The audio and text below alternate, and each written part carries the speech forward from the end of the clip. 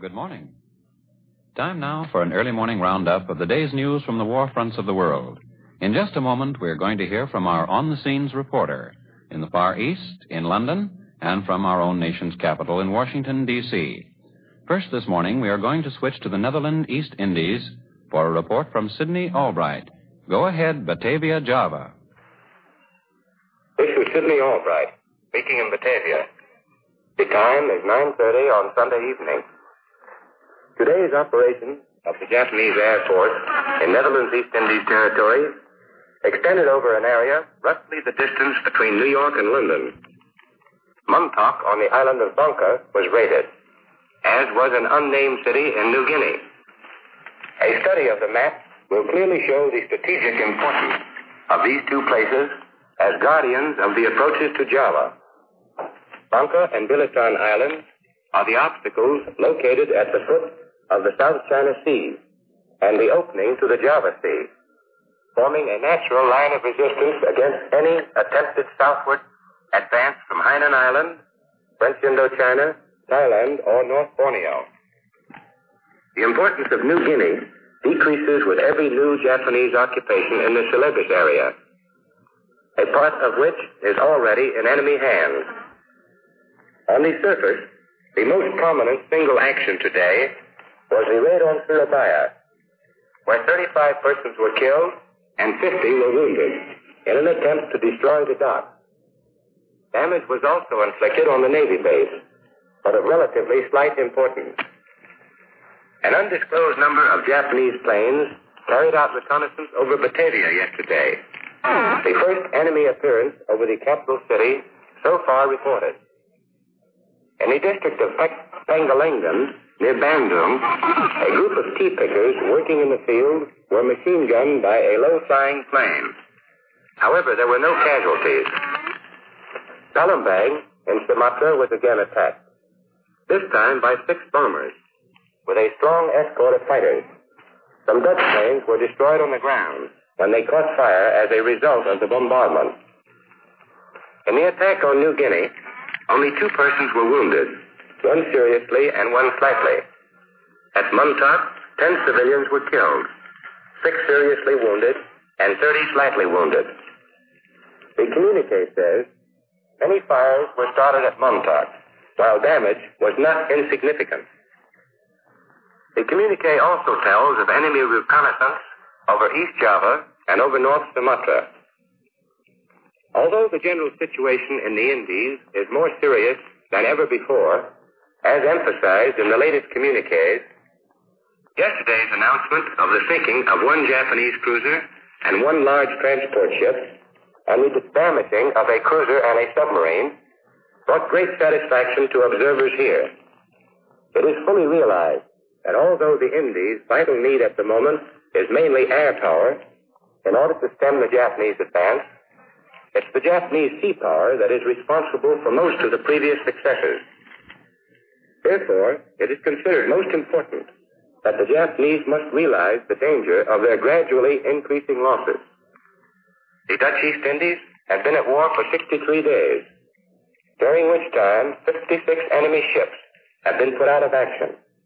This includes warships of all types, numerous large transport ships, also, some tankers carrying precious aviation gasoline, which is irreplaceable.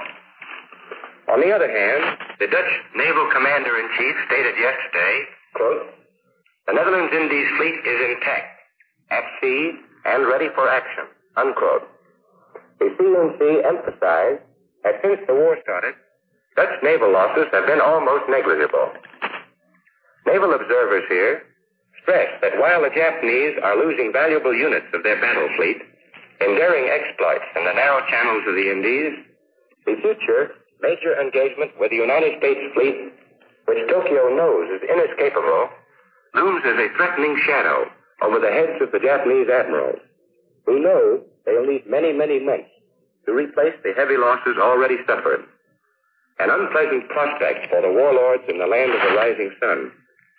I now return you to San Francisco. Next to the newsroom in New York. And here are some late bulletins. Moscow. The Russians are telling of a party of 93 Soviet border guards which operated for three months behind the German lines. The guards now have reached Russian held territory again, and they say they killed more than 1,400 German officers and men during their jaunt. They also mined roads, blew up enemy supply columns, and destroyed 10 bridges. And according to the government newspaper, Izvestia, they wrecked 15 miles of railway track as well as giving many signals to Soviet aircraft, allowing them to bomb German troops and cars. Several times the guerrilla band attacked villages where Germans were quartered. Once they killed or wounded 180 out of 200 Finnish troops sleeping in a schoolhouse. And now once again we take you overseas. We switch you now to London. This is London. John MacVane speaking. London heard from Singapore today that the Japanese have stepped up their air and artillery bombardment of the island. The scale of the air raids and the shelling is said to have been considerably increased. The British guns fired across the strait at enemy working parties and broke them up. Enemy forces moving toward the east of the mainland also came under British shell fire. The Japanese have made a landing on the island of Pulau Ubin between the east end of Singapore Island and the mainland. Authoritative quarters in London don't seem worried by the new Japanese move. They say the landing doesn't bring the Japanese any closer to their main objective. The only news London has from Libya so far today is that British mobile columns and air patrols have been operating over a wide area, west and southwest of the British front about Gazala. It stated that no important enemy bodies were engaged. The story of the pikes issued to home guards has caused a lot of caustic comment in Britain. Most of the Sunday papers take a crack at the idea, and there are references to running the war with antiquated strategy and balaclava brains. Talking of British home guard equipment recalls the story of the home guard invasion maneuvers. The men had no equipment, but they were told to say bang to represent a rifle, bang bang to represent a machine gun, and whoosh to mean the thrust of a bayonet. In the course of the maneuvers, one home guard met another and said bang. The man kept coming, so the first home guard said bang bang. The man kept coming. Finally, the home guard said whoosh. The man kept coming, and the home guard shouted, What do you mean by not stopping when I've killed you three times with a rifle, a machine gun, and a bayonet? Then the second man spoke for the first time. Chug, chug, he said. I'm a tank. This is John MacVane in London, returning you to New York. For word on events at home, here is Morgan Beatty speaking from the newsroom in Washington. The Navy Department announces that the Socony vacuum tanker China Arrow has been torpedoed off the Atlantic coast. But all the crew, 37 survivors, have been landed at Lewes, Delaware. The sinking of the China Arrow brings to 20 the number of ships sunk in Atlantic coast water. This news, plus the reports you have heard from Batavia, London, and New York, add up to this fact. The armed forces of the Allied nations are bracing today to receive new Axis blows, certainly in the Far East and in the Atlantic and possibly in the Mediterranean. To that end, the Allied High Command has been established in Washington. It is setting up a strategic board for military and supply problems and forming new commands in the Pacific to backstop the defenders of Singapore, the Philippines, and the Indies. The naming of Vice Admiral Leary of the United States Fleet as commander of the United Nations forces in Australia and New Zealand waters is a part of our changing strategy, a plan that apparently embraces Australia as the great Allied base in the far Pacific war zone. The selection of Admiral Leary is also special recognition of the demands of the Dutch and the Australians that an American admiral should command Pacific forces. On the domestic front, neither Congress nor parts of the executive branch of the government are quite so well braced to face possible setbacks in the war theaters. Congress, for example, has just emerged from a storm of criticism by constituents who don't like the idea of congressmen voting themselves the right to a federal pension. And congressmen proved they not only could take criticism, but they could, in the vernacular, dish it out too. They are objecting loudly to putting actor and dancer friends of Mrs. Roosevelt on the federal payroll with civilian defense. And there are new and sinister clouds on the labor horizon again, too. In New York State, plans are afoot to form a dairy farmers union as a subsidiary to John L. Lewis's mine workers. And in Detroit, CIO leader Walter P. Reuther, director of the United Auto Workers Union, declares that war production programs cannot be a total success until labor is given a strong voice in organization. These demands follow within less than a week the frank admission by a shipbuilder's agent that his company has made unconscionable profits out of war work.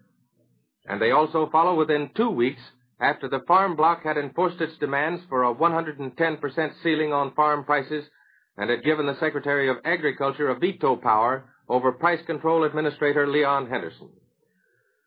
Taken together, all of this is plain evidence that group interests in the United States have not been completely subordinated as yet to the national interest. Labor, industry, the farmer, and all other large groups apparently are still absorbed in their own rival positions. They are thoroughly patriotic, of course, but they can't take their eye off the other fellow for fear he'll steal a march on them.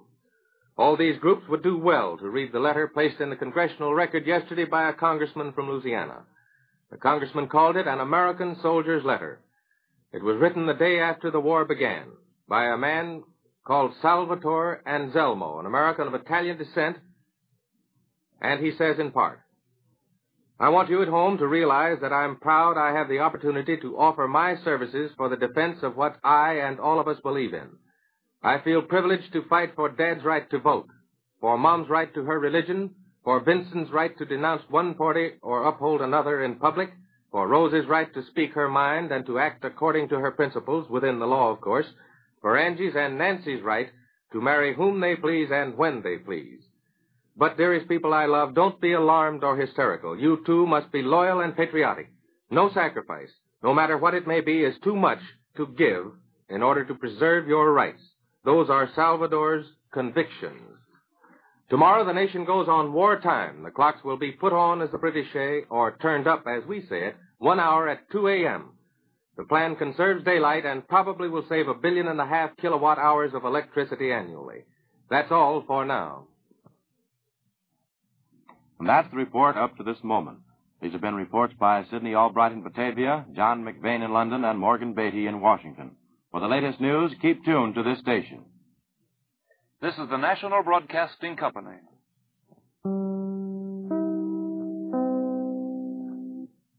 This is Colonel Britton. Tonight I have the honor of introducing to the V Army of Europe one of the key men of this world war.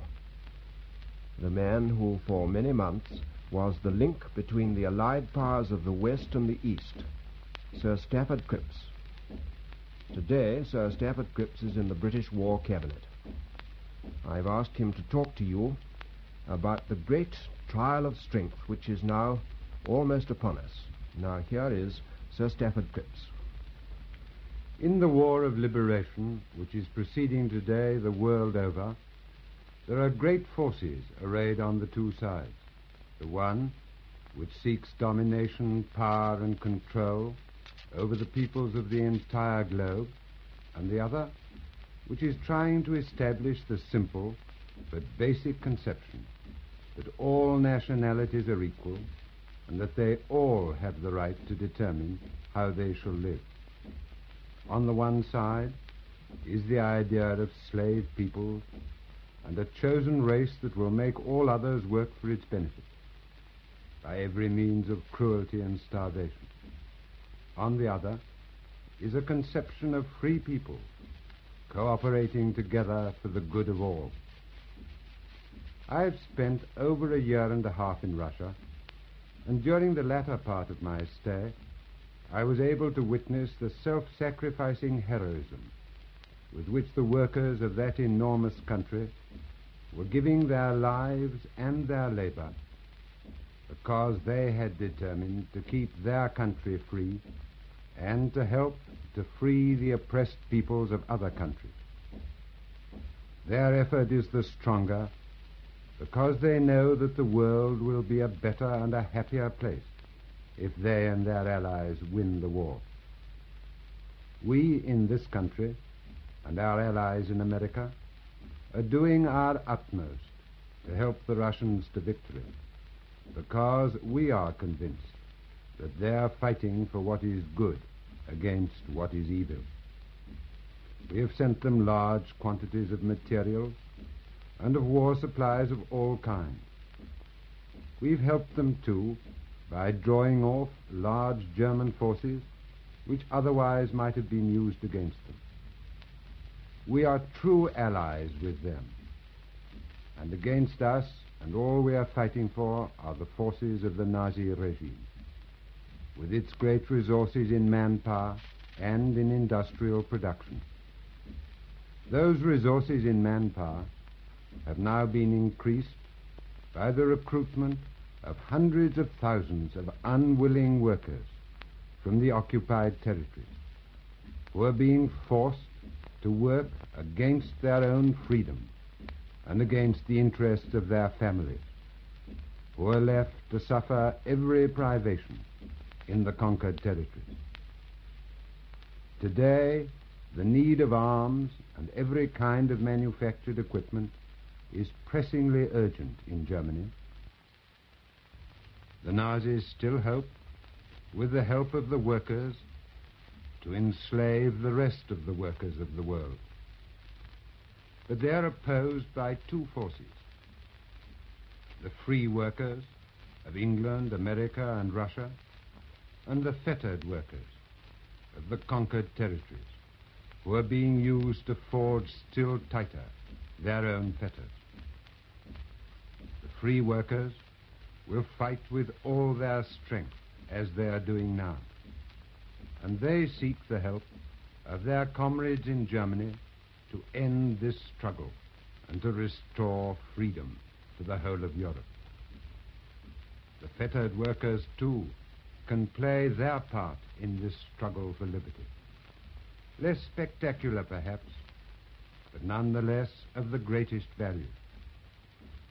With the urgency of need for supplies in Germany, the strength of these workers grows each day. They it is who must keep the wheels of industry turning. And all of us know how a small defect may stop a great machine. What great opportunities for ingenuity in devising the way to slow down or stop production for an hour, a day, or a month. What an opportunity for courage and for help to the cause of right and justice in putting that scheme, whatever it may be, into operation. In the sorrow and tragedy of your fetters, you may free your spirit and your heart by skill and boldness in your work. You may feel yourself one of a great band of unknown warrior workers fighting in the only way that now you can for the freedom of your people. Whether you are German, Czech, French, Dutch, Belgian, or of any other nationality. Each one a member of that countless army of comrades, one with the British, American, and Russian workers, who are so eagerly awaiting your help to finish once and for all the agony of your suffering and to secure the safety of their own lands and people. Strike now. Strike silently, swiftly, and again and again repeat the blows small or great. And know in your hearts that we stand by you, cheering you on and strengthened by your courage. Thank you, sir. And I'd like to repeat Sir Stafford Cripps's words. Strike now. Strike silently, swiftly, and again and again. Repeat the blows, small or great, and know in your hearts that we stand by you, cheering you on and strengthened by your courage. And good luck to the V Army. The news of the world, Wednesday, February 11th.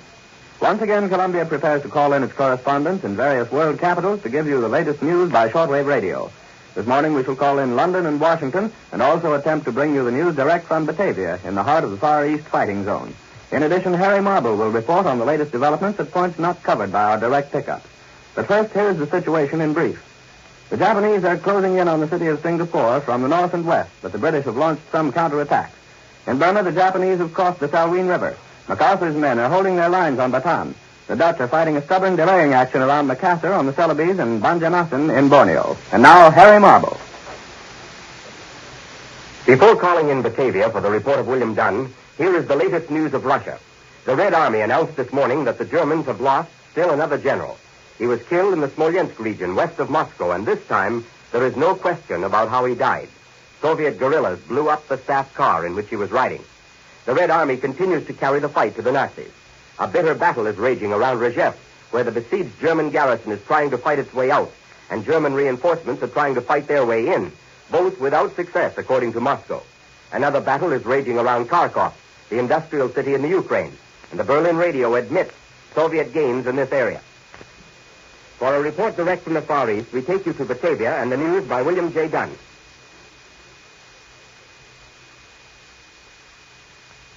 This is Batavia.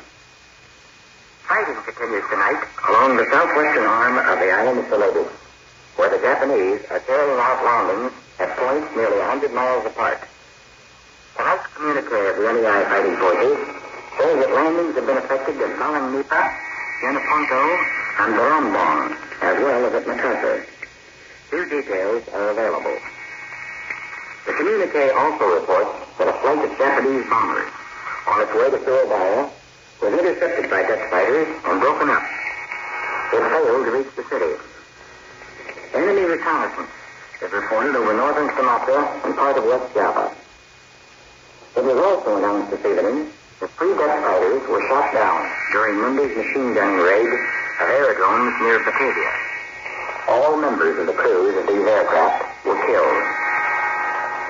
This afternoon, I had an opportunity to inspect several of the streamlined detachable gasoline tanks, which has given the Japanese Navy old fighters a cruising range comparable to that of a small bomber. These tanks, dropped in the vicinity of the Batavia during Monday's raid, resemble a small torpedo, about seven feet in length and 24 inches in diameter. They are constructed of exceedingly thin aluminum and are light enough for the average man to lift with ease.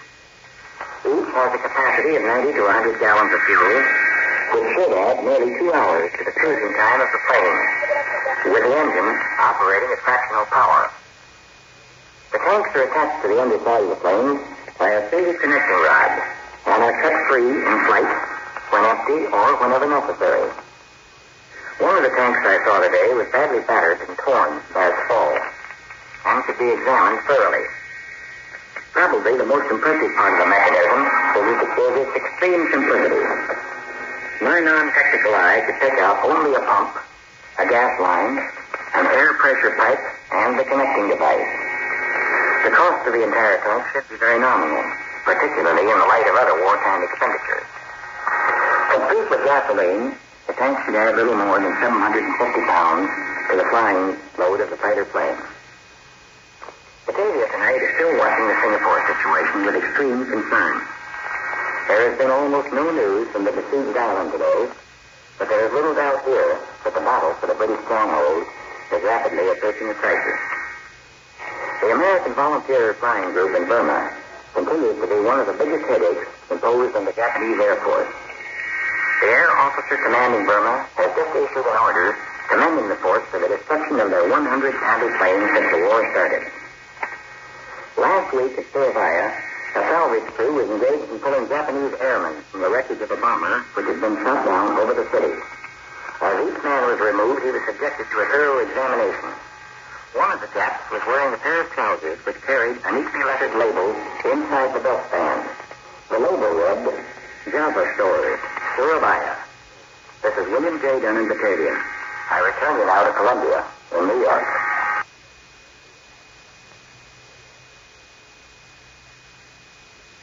Next, across the Atlantic for the news direct from the British capital, and now to London and Charles Collingwood.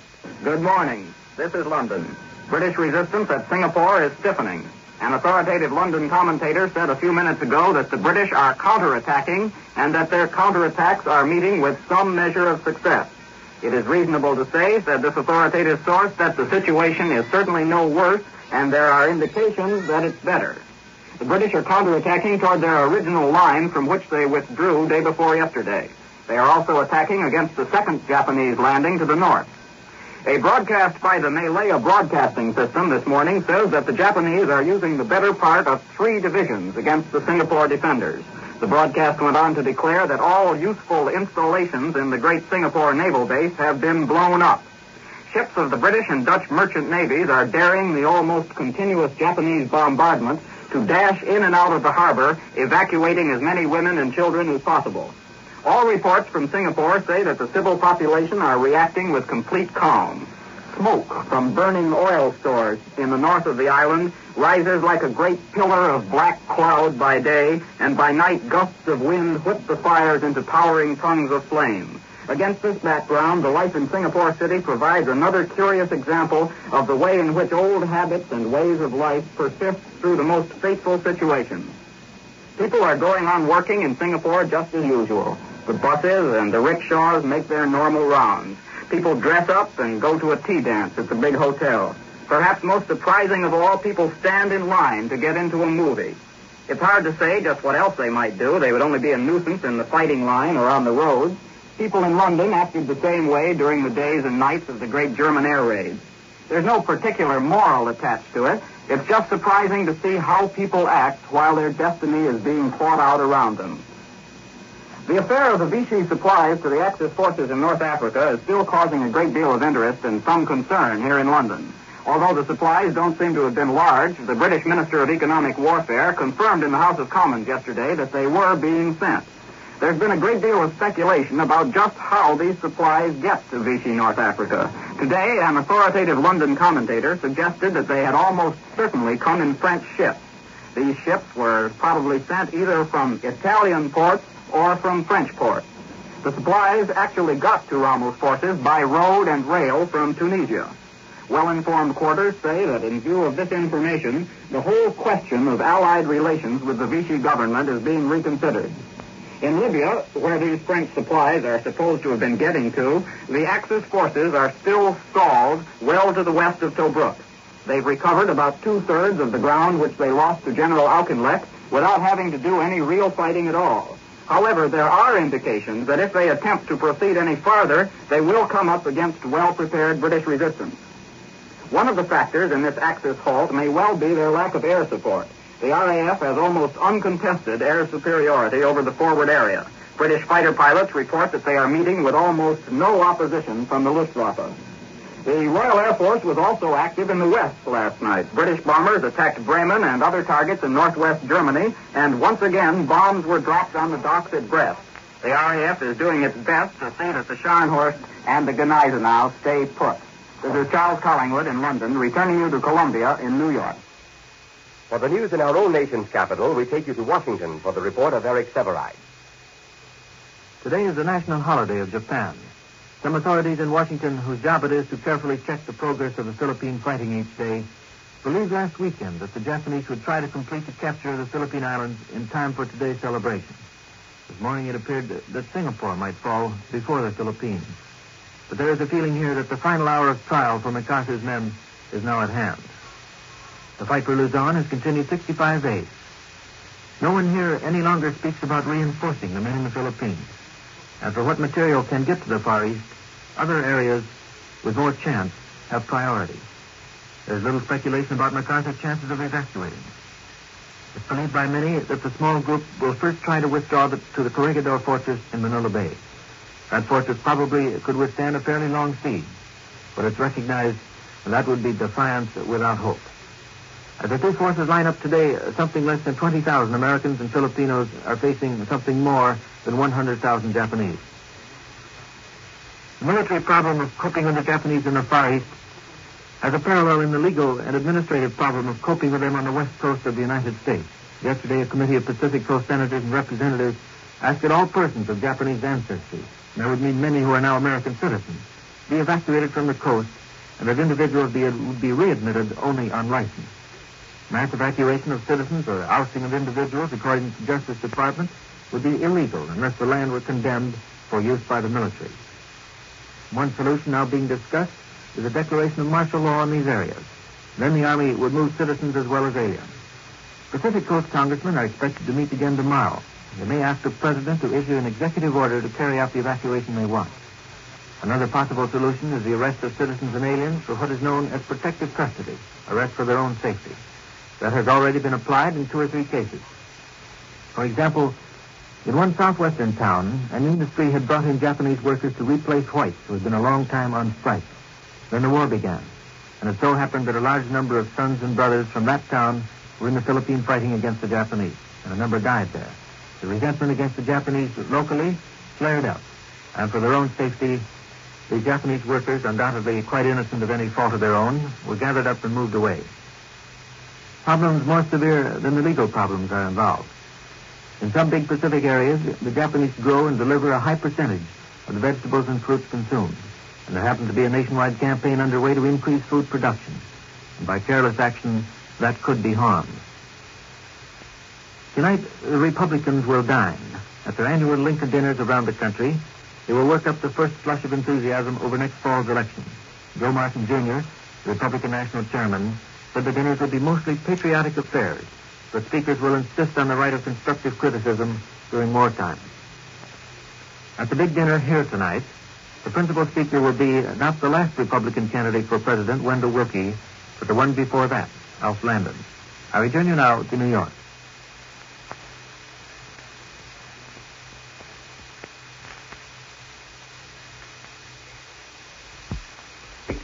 The word security, the great illusion. In every capital of the Allied world, there were bitter charges that there had been too much of the illusion of security, too much complacency, too much lethargy. Australia threw away the word security. Mother India forgot it as the Japanese opened up their all-out drive on Burma. Britannia, ruler of the waves, found that her own Straits of Dover were no longer impregnable. Singapore, with its hundreds of millions of dollars worth of fortifications, thought bitterly of that word security. And America's leaders warned and warned again that we are taking a licking in the Pacific. The warning came from Donald P. Nelson himself, the industrial czar of our war effort. Even America's own shores were not secure in their rock-bound distance from the enemy camp. Submarines working off those shores had proved it. It was proved again in flames, fire which swept the liner Normandie, a blaze started by carelessness. The critics of these appalling setbacks pointed to but one factor, false security and gross and utter carelessness. In London, in New York, and in Australia, carelessness was blamed in the public print for the plight of Singapore, for the victory of the German battleships Gneisenau and Scharnhorst reaching the Straits of Dover, for the Normandie fire, for lack of air power.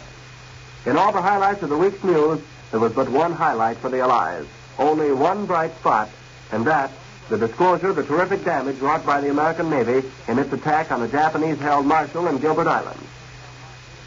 A couple of emperors didn't get much sleep on the night of February the 11th. Emperor Hirohito's royal head didn't touch a pillow all night. The Tokyo radio says the emperor was gripped by insomnia. So anxious was he to receive without delay the latest reports on the Japanese fighting in the city of Singapore. Emperor Hirohito could just as well have got his eight hours on the night of February the 11th. In Helsinki, meanwhile, the temperature hovered at 20 degrees below zero on the night of February the 11th. In the very coldest hours just before dawn, Emperor Kang Ti of Manchukuo got up in his bedroom, had his royal aides help him on with his royal clothes. Then, while it was still dark, Emperor Kang Ti made a cold journey to the shrine of the Japanese sun goddess. There he too offered his prayer for Singapore. Well, that particular morning, Emperor Kang Ti could have saved himself the trouble and turned over and grabbed an extra hour in his warm bed. Because Singapore didn't fall that day, or the next, or the next for the British troops were busy writing their history into the proud annals of the British Empire. But critics said the reason for Singapore's invasion was not a proud chapter in anybody's history. Yes, and the critics were numerous throughout the British Empire. Those who were there say it really began at Penang, this disaster which was engulfing Singapore. Penang is a little island off the northern Malayan coast, abundant in tin and rubber. The Japanese took it in a lightning thrust, but how they took it was another matter. There were charges that the British had no anti-aircraft guns at Penang, that there were no fighter protections, that they hadn't even camouflaged vital area targets, and that they did not carry out a scorched earth policy in their retreat from the rich little in their retreat from the rich little island, in their retreat. The news of the world, Wednesday, February 11th. Once again, Columbia prepares to call in its correspondents in various world capitals to give you the latest news by shortwave radio. This morning we shall call in London and Washington and also attempt to bring you the news direct from Batavia in the heart of the Far East fighting zone. In addition, Harry Marble will report on the latest developments at points not covered by our direct pickup. But first, here is the situation in brief. The Japanese are closing in on the city of Singapore from the north and west, but the British have launched some counterattacks. In Burma, the Japanese have crossed the Salween River. MacArthur's men are holding their lines on Bataan. The Dutch are fighting a stubborn delaying action around Makassar on the Celebes and Banjarmasin in Borneo. And now, Harry Marble. Before calling in Batavia for the report of William Dunn, here is the latest news of Russia. The Red Army announced this morning that the Germans have lost still another general. He was killed in the Smolensk region west of Moscow, and this time there is no question about how he died. Soviet guerrillas blew up the staff car in which he was riding. The Red Army continues to carry the fight to the Nazis. A bitter battle is raging around Rzhev, where the besieged German garrison is trying to fight its way out, and German reinforcements are trying to fight their way in, both without success, according to Moscow. Another battle is raging around Kharkov, the industrial city in the Ukraine, and the Berlin radio admits Soviet gains in this area. For a report direct from the Far East, we take you to Batavia and the news by William J. Dunn.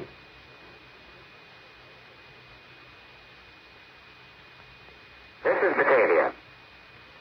Fighting continues along the southwestern arm of the island of Celebes, where the Japanese are carrying out landings at points nearly 100 miles apart. Tonight's communique of the NEI fighting forces says that landings have been effected at Malang Nipa, Yenaponto, and Barombong, as well as at Macassar. Few details are available.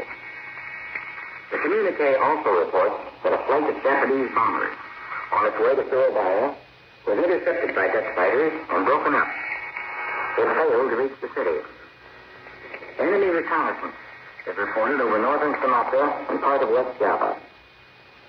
It was also announced this evening that three Dutch fighters were shot down during Monday's machine gunning raid of aerodromes near Batavia. All members of the crews of these aircraft were killed. This afternoon, I had an opportunity to inspect several of the streamlined detachable gasoline tanks, which has given the Japanese Navy old fighters a cruising range comparable to that of a small bomber. These tanks, dropped in the vicinity of the Batavia during Monday's raid, resemble a small torpedo, about seven feet in length and 24 inches in diameter. They are constructed of exceedingly thin aluminum and are light enough for the average man to lift with ease. Each has a capacity of 90 to 100 gallons of fuel, which should add nearly two hours to the cruising time of the plane, with the engine operating at fractional power. The tanks are attached to the underside of the plane by a single connecting rod and are cut free in flight when empty or whenever necessary. One of the tanks I saw today was badly battered and torn by its fall and could be examined thoroughly. Probably the most impressive part of the mechanism is its extreme simplicity. My non-technical eye could pick out only a pump, a gas line, an air pressure pipe, and the connecting device. The cost of the entire tank should be very nominal, particularly in the light of other wartime expenditures. Complete with gasoline, the tank should add little more than 750 pounds to the flying load of the fighter plane. Batavia tonight is still watching the Singapore situation with extreme concern. There has been almost no news from the besieged island today, but there is little doubt here that the battle for the British stronghold is rapidly approaching a crisis.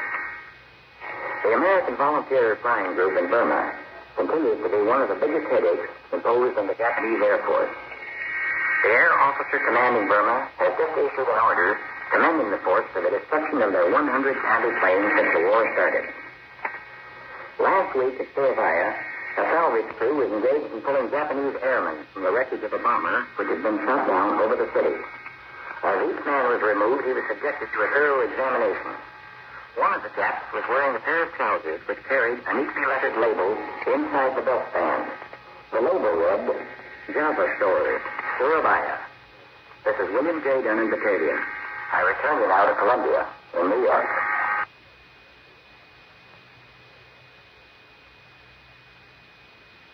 Next, across the Atlantic for the news direct from the British capital. And now to London and Charles Collingwood. Good morning. This is London.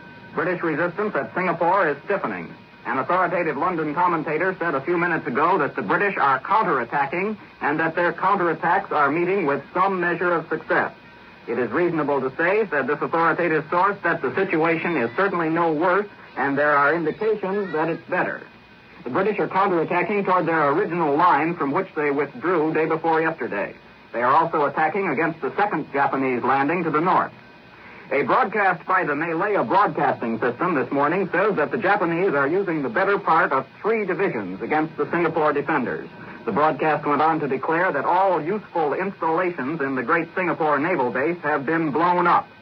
Ships of the British and Dutch merchant navies are daring the almost continuous Japanese bombardment to dash in and out of the harbor, evacuating as many women and children as possible. All reports from Singapore say that the civil population are reacting with complete calm. Smoke from burning oil stores in the north of the island rises like a great pillar of black cloud by day, and by night gusts of wind whip the fires into towering tongues of flame. Against this background, the life in Singapore City provides another curious example of the way in which old habits and ways of life persist through the most fateful situations. People are going on working in Singapore just as usual. The buses and the rickshaws make their normal rounds. People dress up and go to a tea dance at the big hotel. Perhaps most surprising of all, people stand in line to get into a movie. It's hard to say just what else they might do. They would only be a nuisance in the fighting line or on the roads. People in London acted the same way during the days and nights of the great German air raids. There's no particular moral attached to it. It's just surprising to see how people act while their destiny is being fought out around them. The affair of the Vichy supplies to the Axis forces in North Africa is still causing a great deal of interest and some concern here in London. Although the supplies don't seem to have been large, the British Minister of Economic Warfare confirmed in the House of Commons yesterday that they were being sent. There's been a great deal of speculation about just how these supplies get to Vichy, North Africa. Today, an authoritative London commentator suggested that they had almost certainly come in French ships. These ships were probably sent either from Italian ports or from French ports. The supplies actually got to Rommel's forces by road and rail from Tunisia. Well-informed quarters say that in view of this information, the whole question of Allied relations with the Vichy government is being reconsidered. In Libya, where these French supplies are supposed to have been getting to, the Axis forces are still stalled well to the west of Tobruk. They've recovered about two-thirds of the ground which they lost to General Auchinleck without having to do any real fighting at all. However, there are indications that if they attempt to proceed any farther, they will come up against well-prepared British resistance. One of the factors in this Axis halt may well be their lack of air support. The RAF has almost uncontested air superiority over the forward area. British fighter pilots report that they are meeting with almost no opposition from the Luftwaffe. The Royal Air Force was also active in the west last night. British bombers attacked Bremen and other targets in northwest Germany, and once again, bombs were dropped on the docks at Brest. The RAF is doing its best to see that the Scharnhorst and the Gneisenau stay put. This is Charles Collingwood in London, returning you to Columbia in New York. For the news in our own nation's capital, we take you to Washington for the report of Eric Sevareid. Today is the national holiday of Japan. Some authorities in Washington, whose job it is to carefully check the progress of the Philippine fighting each day, believed last weekend that the Japanese would try to complete the capture of the Philippine Islands in time for today's celebration. This morning it appeared that Singapore might fall before the Philippines. But there is a feeling here that the final hour of trial for MacArthur's men is now at hand. The fight for Luzon has continued 65 days. No one here any longer speaks about reinforcing the men in the Philippines. And for what material can get to the Far East, other areas with more chance have priority. There's little speculation about MacArthur's chances of evacuating. It's believed by many that the small group will first try to withdraw the, to the Corregidor Fortress in Manila Bay. That fortress probably could withstand a fairly long siege, but it's recognized that would be defiance without hope. As the two forces line up today, uh, something less than 20,000 Americans and Filipinos are facing something more than 100,000 Japanese. The military problem of coping with the Japanese in the Far East has a parallel in the legal and administrative problem of coping with them on the west coast of the United States. Yesterday, a committee of Pacific Coast senators and representatives asked that all persons of Japanese ancestry, and that would mean many who are now American citizens, be evacuated from the coast and that individuals be, would be readmitted only on license. Mass evacuation of citizens or ousting of individuals, according to the Justice Department, would be illegal unless the land were condemned for use by the military. One solution now being discussed is a declaration of martial law in these areas. Then the Army would move citizens as well as aliens. Pacific Coast congressmen are expected to meet again tomorrow. They may ask the president to issue an executive order to carry out the evacuation they want. Another possible solution is the arrest of citizens and aliens for what is known as protective custody, arrest for their own safety. That has already been applied in two or three cases. For example, in one southwestern town, an industry had brought in Japanese workers to replace whites who had been a long time on strike. Then the war began, and it so happened that a large number of sons and brothers from that town were in the Philippines fighting against the Japanese, and a number died there. The resentment against the Japanese locally flared up, and for their own safety, the Japanese workers, undoubtedly quite innocent of any fault of their own, were gathered up and moved away. Problems more severe than the legal problems are involved. In some big Pacific areas, the Japanese grow and deliver a high percentage of the vegetables and fruits consumed. And there happens to be a nationwide campaign underway to increase food production. And by careless action, that could be harmed. Tonight, the Republicans will dine. At their annual Lincoln dinners around the country, they will work up the first flush of enthusiasm over next fall's election. Joe Martin, Jr., Republican National Chairman, the dinners will be mostly patriotic affairs the speakers will insist on the right of constructive criticism during wartime. At the big dinner here tonight, the principal speaker will be not the last Republican candidate for president, Wendell Willkie, but the one before that, Alf Landon. I return you now to New York.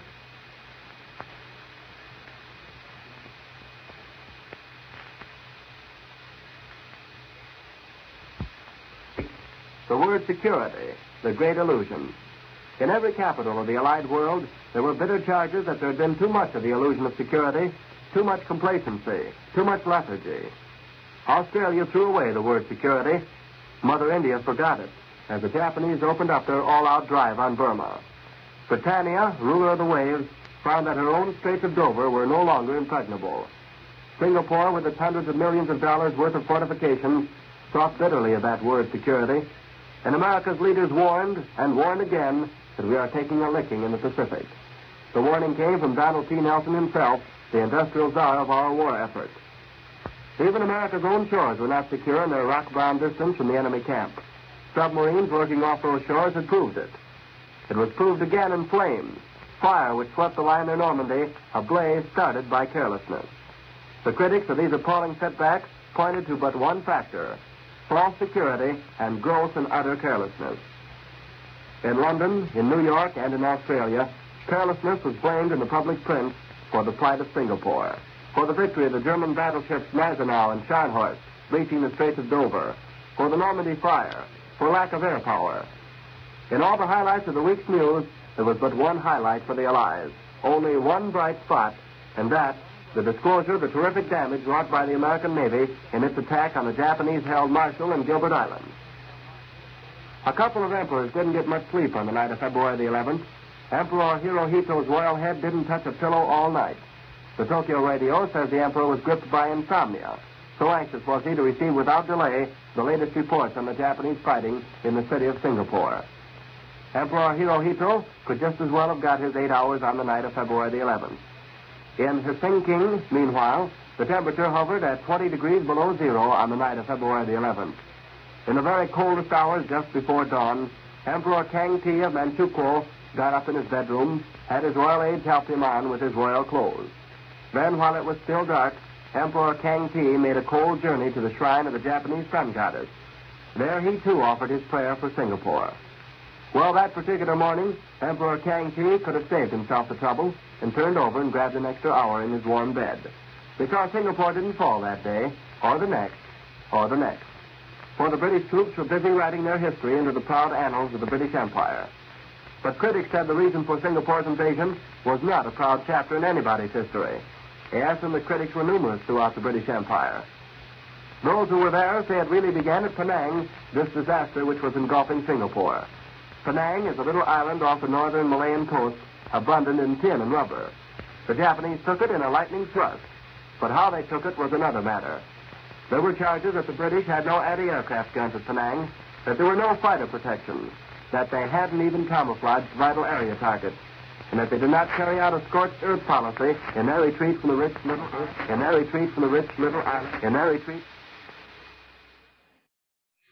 The news of the world, Wednesday, February 11th. Once again, Columbia prepares to call in its correspondents in various world capitals to give you the latest news by shortwave radio. This morning we shall call in London and Washington and also attempt to bring you the news direct from Batavia in the heart of the Far East fighting zone. In addition, Harry Marble will report on the latest developments at points not covered by our direct pickup. But first, here is the situation in brief. The Japanese are closing in on the city of Singapore from the north and west, but the British have launched some counterattacks. In Burma, the Japanese have crossed the Salween River. MacArthur's men are holding their lines on Bataan. The Dutch are fighting a stubborn delaying action around Macassar on the Celebes and Banjarmasin in Borneo. And now, Harry Marble. Before calling in Batavia for the report of William Dunn, here is the latest news of Russia. The Red Army announced this morning that the Germans have lost still another general. He was killed in the Smolensk region west of Moscow, and this time there is no question about how he died. Soviet guerrillas blew up the staff car in which he was riding. The Red Army continues to carry the fight to the Nazis. A bitter battle is raging around Rzhev, where the besieged German garrison is trying to fight its way out, and German reinforcements are trying to fight their way in, both without success, according to Moscow. Another battle is raging around Kharkov, the industrial city in the Ukraine, and the Berlin radio admits Soviet gains in this area. For a report direct from the Far East, we take you to Batavia and the news by William J. Dunn.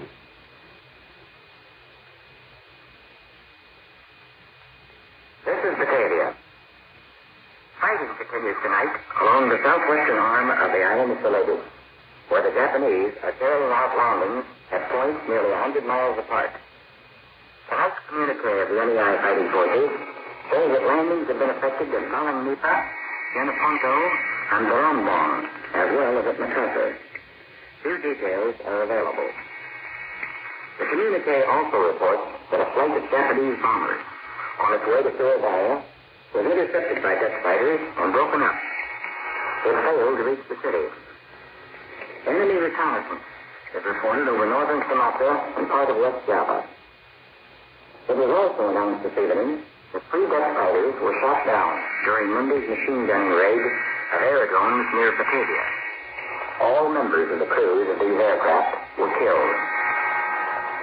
This afternoon, I had an opportunity to inspect several of the streamlined detachable gasoline tanks, which have given the Japanese Navy old fighters a cruising range comparable to that of a small bomber.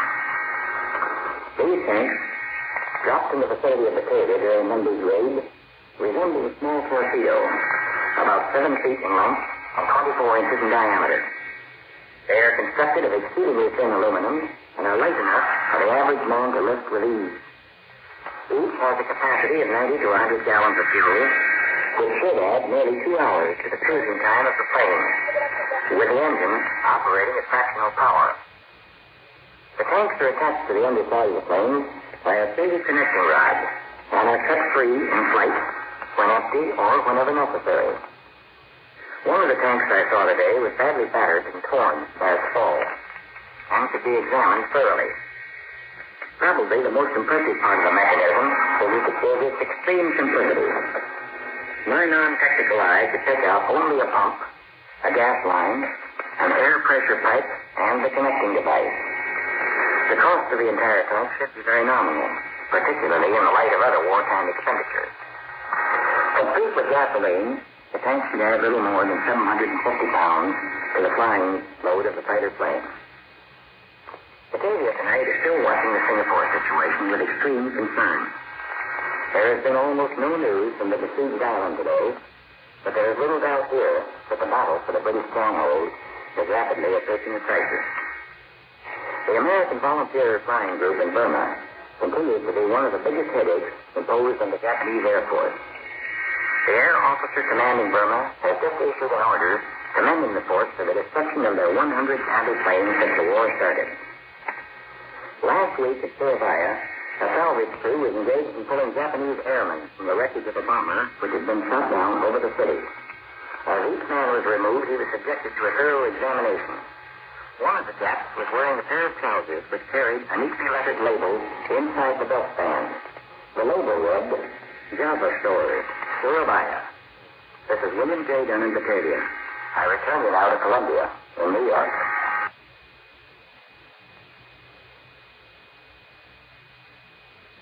Next, across the Atlantic for the news direct from the British capital. And now to London and Charles Collingwood.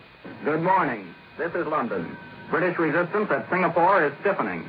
An authoritative London commentator said a few minutes ago that the British are counterattacking and that their counterattacks are meeting with some measure of success. It is reasonable to say, said this authoritative source, that the situation is certainly no worse and there are indications that it's better. The British are counterattacking toward their original line from which they withdrew day before yesterday. They are also attacking against the second Japanese landing to the north. A broadcast by the Malaya Broadcasting System this morning says that the Japanese are using the better part of three divisions against the Singapore defenders. The broadcast went on to declare that all useful installations in the great Singapore naval base have been blown up. Ships of the British and Dutch merchant navies are daring the almost continuous Japanese bombardment to dash in and out of the harbor, evacuating as many women and children as possible. All reports from Singapore say that the civil population are reacting with complete calm. Smoke from burning oil stores in the north of the island rises like a great pillar of black cloud by day, and by night gusts of wind whip the fires into towering tongues of flame. Against this background, the life in Singapore City provides another curious example of the way in which old habits and ways of life persist through the most fateful situations. People are going on working in Singapore just as usual. The buses and the rickshaws make their normal rounds. People dress up and go to a tea dance at the big hotel. Perhaps most surprising of all, people stand in line to get into a movie. It's hard to say just what else they might do. They would only be a nuisance in the fighting line or on the road. People in London acted the same way during the days and nights of the great German air raids. There's no particular moral attached to it. It's just surprising to see how people act while their destiny is being fought out around them. The affair of the Vichy supplies to the Axis forces in North Africa is still causing a great deal of interest and some concern here in London. Although the supplies don't seem to have been large, the British Minister of Economic Warfare confirmed in the House of Commons yesterday that they were being sent. There's been a great deal of speculation about just how these supplies get to Vichy, North Africa. Today, an authoritative London commentator suggested that they had almost certainly come in French ships. These ships were probably sent either from Italian ports or from French ports. The supplies actually got to Rommel's forces by road and rail from Tunisia. Well-informed quarters say that in view of this information, the whole question of Allied relations with the Vichy government is being reconsidered. In Libya, where these French supplies are supposed to have been getting to, the Axis forces are still stalled well to the west of Tobruk. They've recovered about two-thirds of the ground which they lost to General Auchinleck without having to do any real fighting at all. However, there are indications that if they attempt to proceed any farther, they will come up against well-prepared British resistance. One of the factors in this Axis halt may well be their lack of air support. The RAF has almost uncontested air superiority over the forward area. British fighter pilots report that they are meeting with almost no opposition from the Luftwaffe. The Royal Air Force was also active in the West last night. British bombers attacked Bremen and other targets in northwest Germany, and once again, bombs were dropped on the docks at Brest. The RAF is doing its best to see that the Scharnhorst and the Gneisenau stay put. This is Charles Collingwood in London, returning you to Columbia in New York. For the news in our own nation's capital, we take you to Washington for the report of Eric Sevareid. Today is the national holiday of Japan. Some authorities in Washington, whose job it is to carefully check the progress of the Philippine fighting each day, believed last weekend that the Japanese would try to complete the capture of the Philippine Islands in time for today's celebration. This morning it appeared that, Singapore might fall before the Philippines. But there is a feeling here that the final hour of trial for MacArthur's men is now at hand. The fight for Luzon has continued 65 days. No one here any longer speaks about reinforcing the men in the Philippines. As for what material can get to the Far East, other areas with more chance have priority. There's little speculation about MacArthur's chances of evacuating. It's believed by many that the small group will first try to withdraw the, to the Corregidor Fortress in Manila Bay. That fortress probably could withstand a fairly long siege, but it's recognized that would be defiance without hope. As the two forces line up today, uh, something less than 20,000 Americans and Filipinos are facing something more than 100,000 Japanese. The military problem of coping with the Japanese in the Far East has a parallel in the legal and administrative problem of coping with them on the west coast of the United States. Yesterday, a committee of Pacific Coast senators and representatives asked that all persons of Japanese ancestry, and that would mean many who are now American citizens, be evacuated from the coast and that individuals be, be readmitted only on license. Mass evacuation of citizens or ousting of individuals, according to the Justice Department, would be illegal unless the land were condemned for use by the military. One solution now being discussed is a declaration of martial law in these areas. Then the Army would move citizens as well as aliens. Pacific Coast congressmen are expected to meet again tomorrow. They may ask the President to issue an executive order to carry out the evacuation they want. Another possible solution is the arrest of citizens and aliens for what is known as protective custody, arrest for their own safety. That has already been applied in two or three cases. For example, in one southwestern town, an industry had brought in Japanese workers to replace whites who had been a long time on strike. Then the war began, and it so happened that a large number of sons and brothers from that town were in the Philippines fighting against the Japanese, and a number died there. The resentment against the Japanese locally flared up, and for their own safety, the Japanese workers, undoubtedly quite innocent of any fault of their own, were gathered up and moved away. Problems more severe than the legal problems are involved. In some big Pacific areas, the Japanese grow and deliver a high percentage of the vegetables and fruits consumed. And there happens to be a nationwide campaign underway to increase food production. And by careless action, that could be harmed. Tonight, the Republicans will dine. At their annual Lincoln dinners around the country, they will work up the first flush of enthusiasm over next fall's election. Joe Martin, Jr., Republican National Chairman, the dinners would be mostly patriotic affairs, but speakers will insist on the right of constructive criticism during wartime. At the big dinner here tonight, the principal speaker will be not the last Republican candidate for president, Wendell Willkie, but the one before that, Alf Landon. I return you now to New York.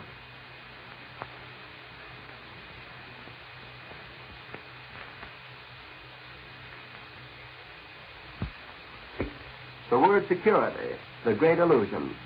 In every capital of the Allied world, there were bitter charges that there had been too much of the illusion of security, too much complacency, too much lethargy. Australia threw away the word security. Mother India forgot it as the Japanese opened up their all-out drive on Burma. Britannia, ruler of the waves, found that her own Straits of Dover were no longer impregnable. Singapore, with its hundreds of millions of dollars worth of fortifications, thought bitterly of that word security. And America's leaders warned and warned again that we are taking a licking in the Pacific. The warning came from Donald T. Nelson himself, the industrial czar of our war effort. Even America's own shores were not secure in their rock-bound distance from the enemy camp. Submarines working off those shores had proved it.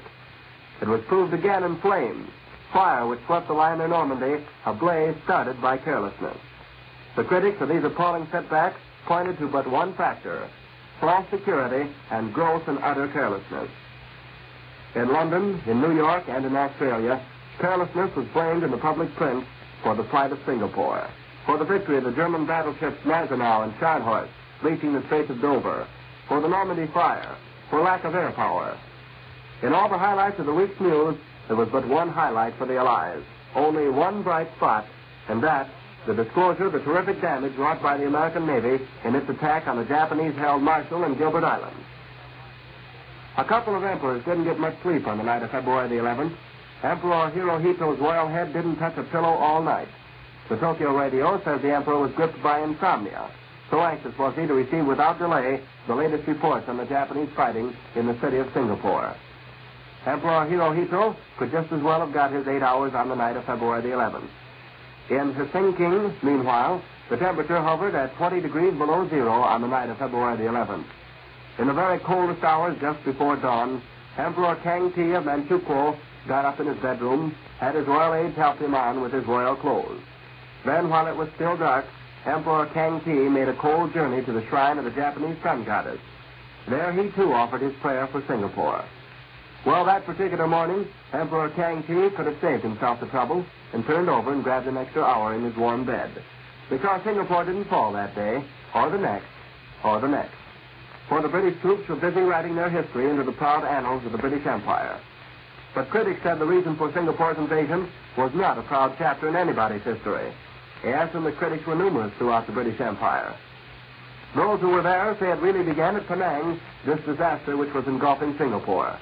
Penang is a little island off the northern Malayan coast, abundant in tin and rubber. The Japanese took it in a lightning thrust, but how they took it was another matter. There were charges that the British had no anti-aircraft guns at Penang, that there were no fighter protections, that they hadn't even camouflaged vital area targets, and that they did not carry out a scorched earth policy in their retreat from the rich little in their retreat from the rich little in their retreat. You are listening to a program presented by the four major networks of America. Its principal voice will be that of Lieutenant Robert Montgomery, United States Navy. First, there is a letter for you to hear. A letter from the President of the United States. In Washington, Archibald MacLeish will read it to you. Here is Mr. MacLeish. Dear, I have the honor to read this letter from the President. Dear Mr. MacLeish, difficulties the American people must face in following and understanding this war have been constantly on my mind of late. In all history, never has a war been extended over so much of the world. We are obliged to think not in terms of countries, but of continents, not in terms of armies, but in terms of entire peoples and the seven seas. This challenge to our understanding, like the war itself, is a challenge we can meet successfully. The people of this country possess means of communicating with each other which enable them to face and to overcome the greatest difficulties in the way of understanding.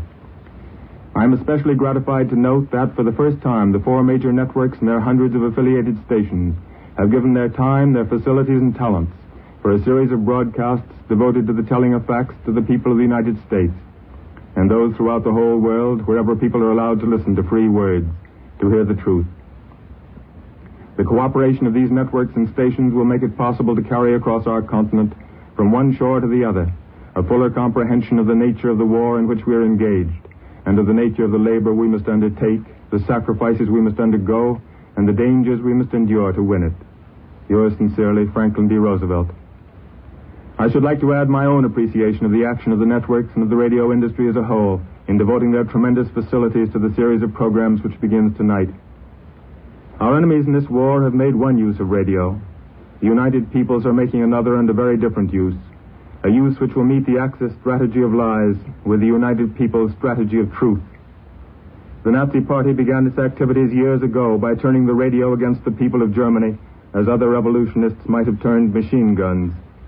Later, and after the revolution had been pushed through in Germany, the Nazis swung their broadcasts against the peoples of Europe. Finally, after Europe had been overrun, they wheeled their beams west across the Atlantic into South America and even into the United States. Their purpose at all stages of the game has been to confuse and to deceive, to trick and corrupt and cajole their own people, and to trick and frighten and confuse the peoples they have marked for conquest. They will discover before this war is over that truth is in truth more powerful than deceit, and that with the radio as with many other instruments whose use our enemies have perverted, those who use them for freedom and for humanity can use them more effectively than those who use them for slavery and for death. The first of these programs, the program you are now about to hear, is presented in the hope that it may carry across our continent from one shore to the other, as the President has put it, a fuller comprehension of the nature of the war in which we are engaged.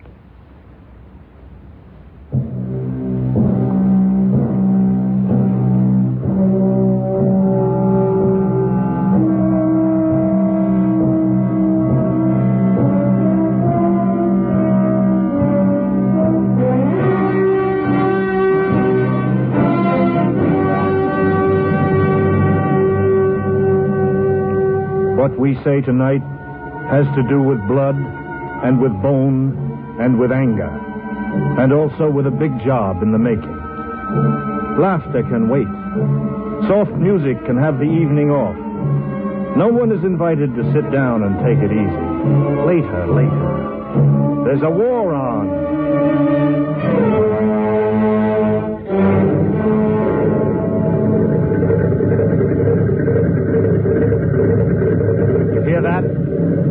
That's a new airplane motor, idling on the test block. When it gets going, it turns faster than any motor ever built. Just how fast is a military secret. We can't show you the motor, but we can let you in on the sound of it. Hear that, Americans? That's the first of a hundred thousand noises like it. Hear that, London? We're making enough to go round. Hear that, Moscow? It flies wonderfully well in cold weather. Hear that, Chongqing? That sound is a new American slogan. Hear that, Batavia, Melbourne, Cairo, Ottawa? A lot of friendly horsepower there.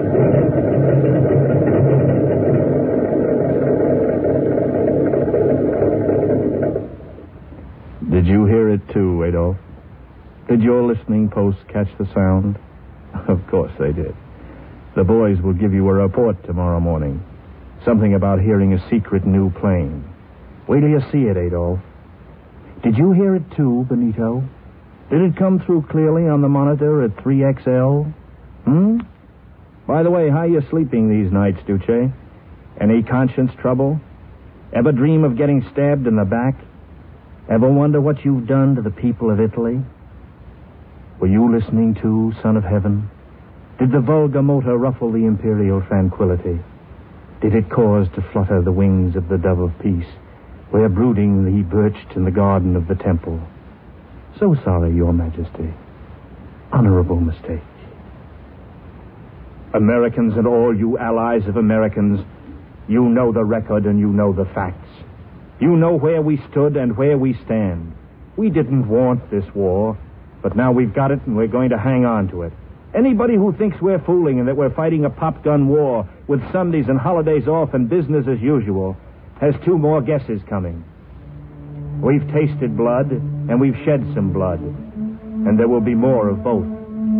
There will also be anger, and there will be the solemn word and the parting of the loved one, and the troop ship slipping away in the dark, and at home the machine turning and the flaming forge, and the weapons coming out clean, and the work going on by day and the work going on by night, until the big job's done, until the big job's done and over with and finished, so it'll stay that way.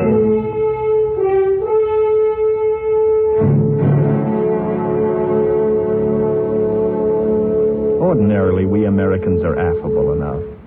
We've never made killing a career, although we happen to be pretty good with a gun. We never felt we were that inferior. It's only people with a thumping inferiority who go around convincing each other they're a superior race. You want to hear something ridiculous? Listen. Hail Jefferson. Hail Jefferson. The United States of America overall. Today, the United States of America is ours. Tomorrow, the entire world. Hail! Hail! Oh, no. We've never been that way. We've been concerned not with owning everybody, but with everybody owning. We tried to make our strip of planet a good place to be born on, and to live on, and to have some children on. We were busy educating our people, giving them a decent slant on things, trying to see that the hungry got fed and the jobless got work, trying to remember the forgotten man, trying to deal out a better deal around the table. A sentimental people, a sympathetic people, we make no bones about it. We show it and we act it, and sometimes we even sing about it. Not songs of complaint or hate, not Horst Wessel Lieder, but compassionate songs. Songs for the underdog, songs for the poor man in the rich country. Once I built a tower to the sun, brick and rivet and lime. Once I built a tower, now it's done. Brother, can you spare a dime?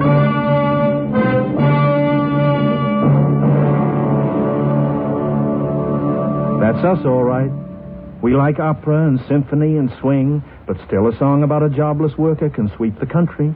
We like Cinderella stories and The Thin Man, but still a novel about a dispossessed Oklahoma family named Joad can become a bestseller and be made into a movie.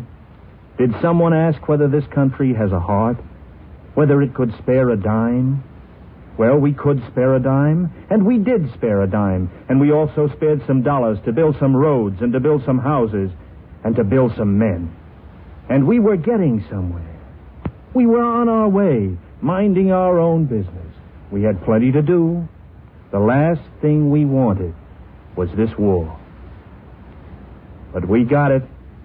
It came. It came on a quiet Sunday morning out of the dirty dawn. It came with a grinning face behind a mask of peace. It came with an immortal shame. Came with the compliments of a poker-faced Mikado of the Showa era, which means enlightened peace. came through the courtesy of the highest gentleman of Japan, whose bombers swooped and strafed while his ambassadors bowed and scraped. That's how it came, but not, however, how the fight will go. He who starts avalanche rarely stops sane. Old Chinese American proverb. We singing people sing a different kind of tune now. A battle hymn made up of strains of music from a thousand whirring dynamos and working locomotive bells and tractors groaning in low gear. An orchestration all the world will listen to. A hundred thousand airplanes for wind instruments. Heavy guns for timpani. The melody you know already. Sung in the key of V. V for vindication. V for victory.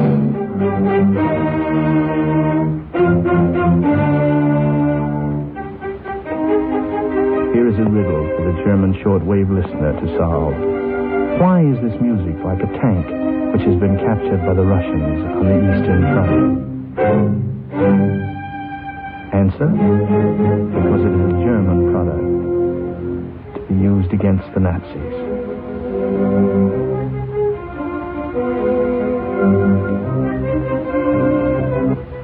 But wait a minute, stop. What is the enemy? We know what we are, but what is the enemy? What is this thing for which we stopped what we were doing and put our private plans in storage? For which we got into uniform and made friends with a gun? What is it we have pledged our lives and fortunes and our sacred honor to destroy, saying goodbye, meanwhile, to the easy life, to the old routine, saying so long to the 815 commuter's train and the drive through the park on Sunday, saying goodbye to the wife, the folks, the kid. See you later to the boys at the office. What is the enemy that we have done these things and done them quickly and been glad to do them? He is these things. He is this. Sind Sie Kurt Östermann? Was ist los? Sind Sie Kurt Östermann? Ja. Weiter wollen wir nichts wissen. Heil Hitler! Heil Hitler! Gehen wir. The enemy is murder, international. Murder, unlimited. Quick murder on the spot, or slow murder in the concentration camp. Murder for listening to the shortwave radio. Murder for listening, for marrying a Pole. For propagation of the faith. For speaking one's mind. For trading with a non-Aryan. For being an invalid too long.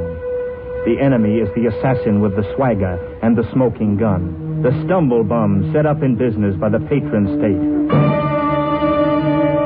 The enemy is this.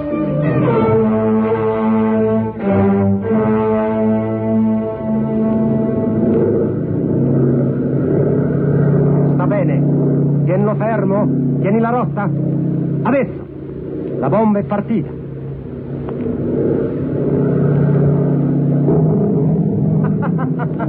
Molto bene, eccellente. Li abbiamo presi tutti, non è vero? Tutti. Sembravano un bocciolo di rosa che si aprisse. The happy warrior has written him a book of reminiscences. Ho ancora in mente l'effetto di un gruppetto di galla.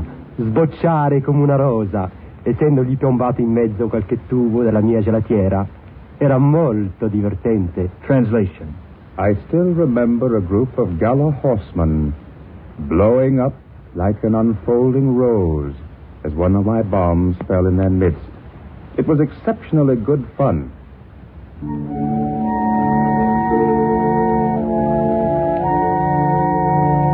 The enemy is laughter over the bleeding stump, the cold smile of the officer who stands watching while the hostage digs his own grave, the coarse joke over the girl just raped. The enemy is the torture gag, worked out with patience and a kind of humor, officially approved, given the nod by the high command, given the go-ahead by the big boss at the big desk at the far end of the long road. The enemy is this.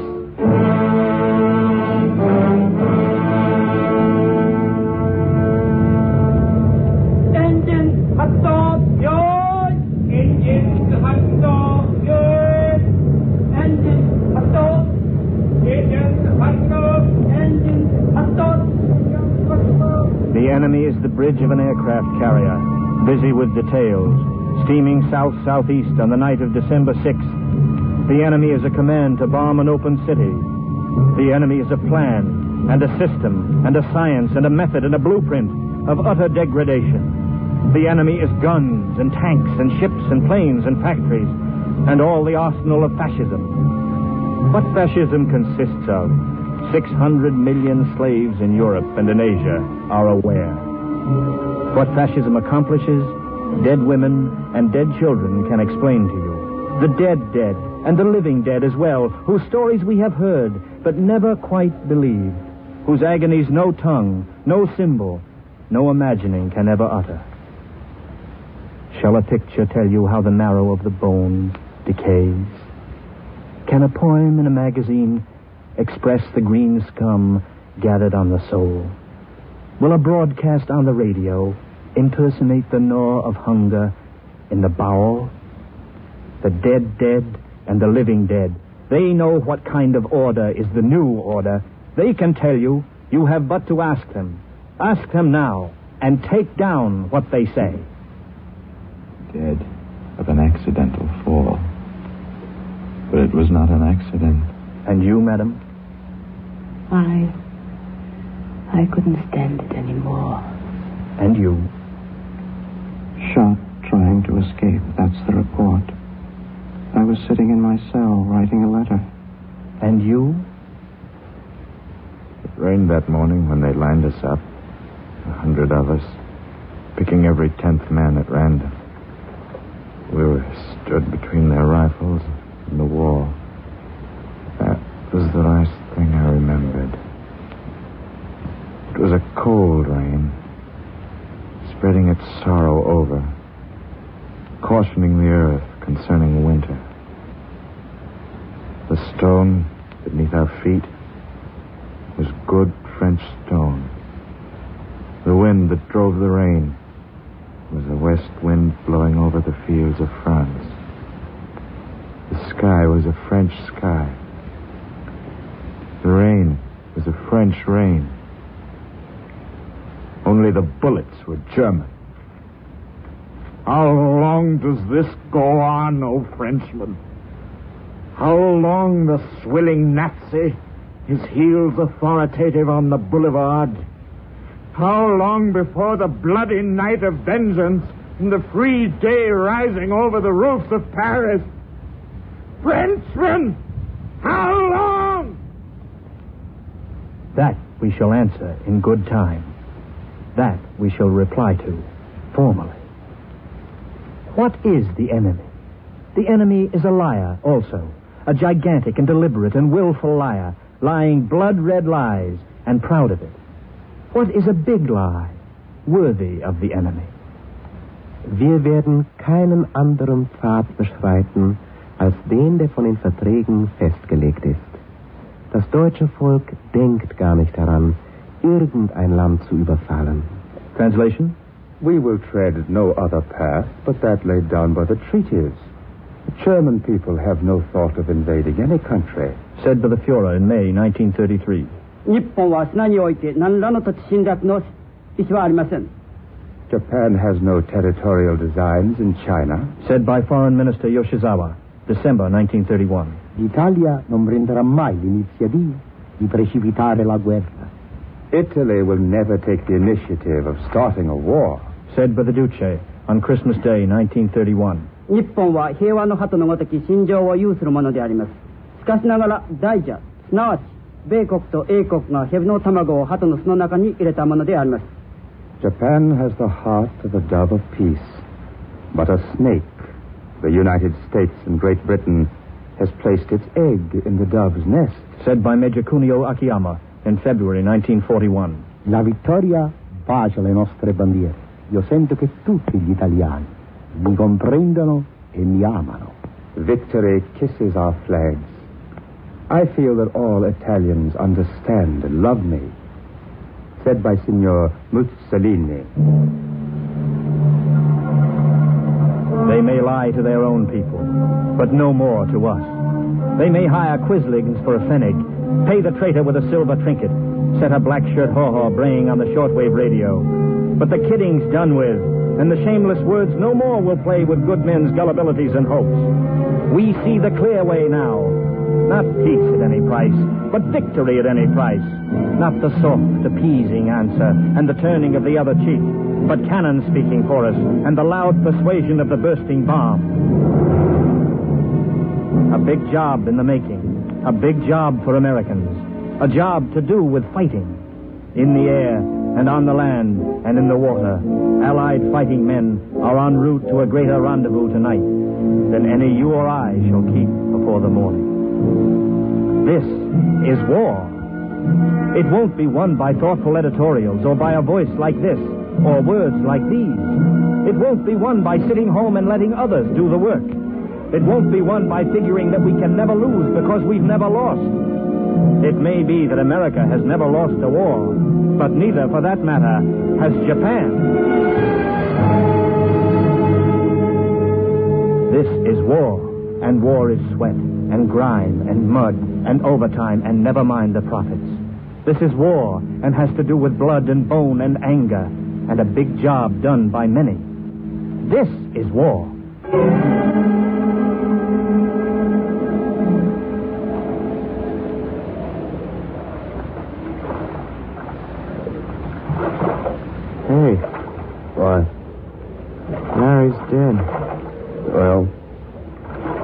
him over.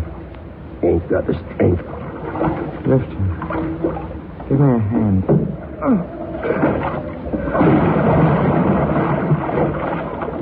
Two survivors. 34 are missing. It appears on page 18, six column over. This is war.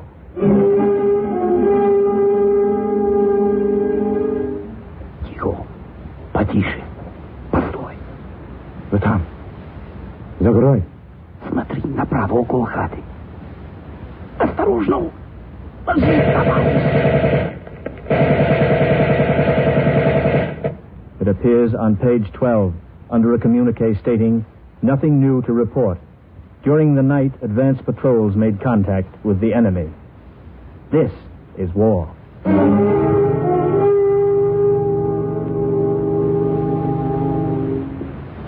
Start intravenous injections.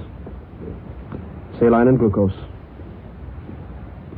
Set up for plasma. Uh, the blunt scissors and forceps. Mm-hmm. Here she is. Shrapnel spreader.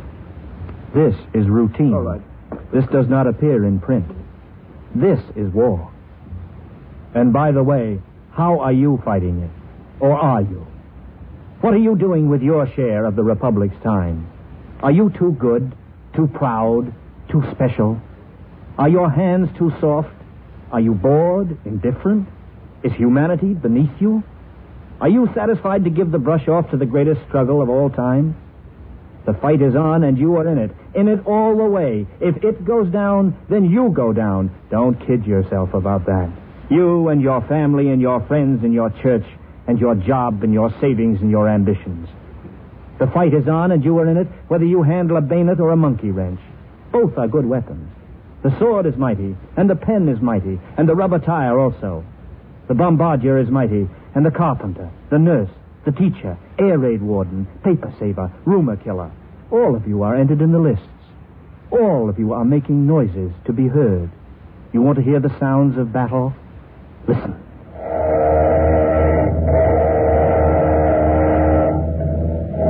Job for a valve on one of the new tank motors.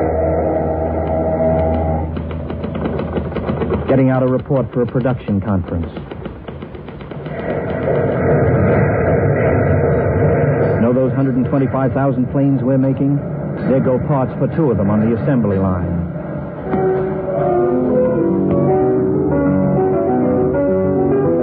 Practicing for a benefit. China relief. Battle noises. These are all related to the roaring cannon and the stuttering machine gun, notes and harmonies and rhythms belonging to the massive music of the battle hymn of the United Peoples.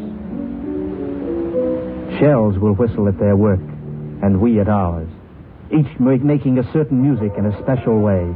Some will instruct machines to hum, and others swing the crane and truck the load. Songs will rise up from our singing people, some well worth the nation's ear. Songs to work to, and to fight to, and to set our quotas to.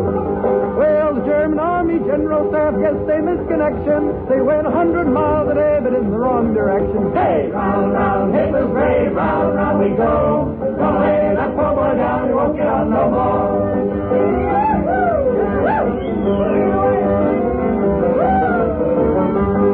Now, Mussolini up to dry. Hey, round, round, Hitler's grave, round, round we go. Lay that poor boy down, he won't get up no more. Now the Japs are traveling mighty fast, but they're on a one-way track. They started down that Burma road and they ain't coming back. Hey, round, round, Hitler's grave, round, round we go. Don't lay that poor boy down, he won't get up no more. Hey, round, round, Hitler's grave, round, round we go. Don't lay that poor boy down, he won't get up no more.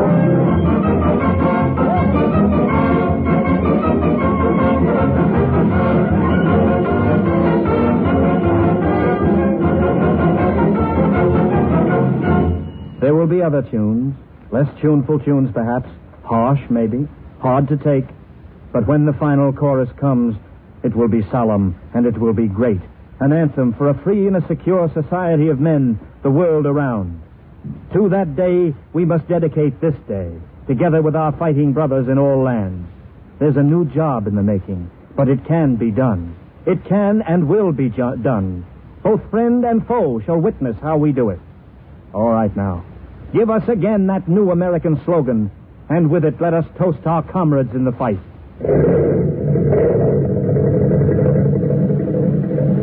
To the men of the United Kingdom on our far-flung fronts, thumbs up. To Soviet fighters on our eastern front, Privyetstoyem Bat. To all the men of China, Changhua, Minquao, Wanwan Sui. To the Netherlanders fighting with us on our fight along the Indies, Prost. To the betrayed but never conquered Czechs, the doughty Greeks, the Yugoslavs still fighting in the hills, the Austrians who wait the day to smash their Anschluss, to the Poles who shall remember Warsaw, to the proud Norwegians and the calm, disdainful Danes, to the Belgians and the French who smolder in their chains, to the mingled peoples of Malaya. Take heart, resist much, fight how you can. We are building for you. We are on the move. We are pointing to the day.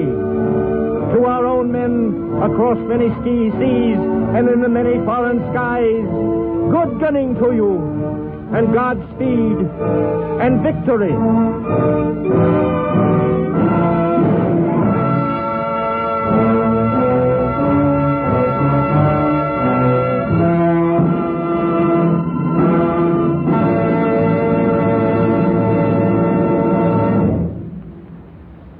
Ask you to join us again next Saturday evening when the four major networks bring you the second of this new series, Uniting the Resources of American Radio. Your narrator tonight was Lieutenant Robert Montgomery, United States Navy. The original musical score was composed and conducted by Lynn Murray. The program was written and directed by Norman Corwin. Paul Muni will appear next week in a program entitled The White House and the War, broadcast by the four major networks at this same time. This is war.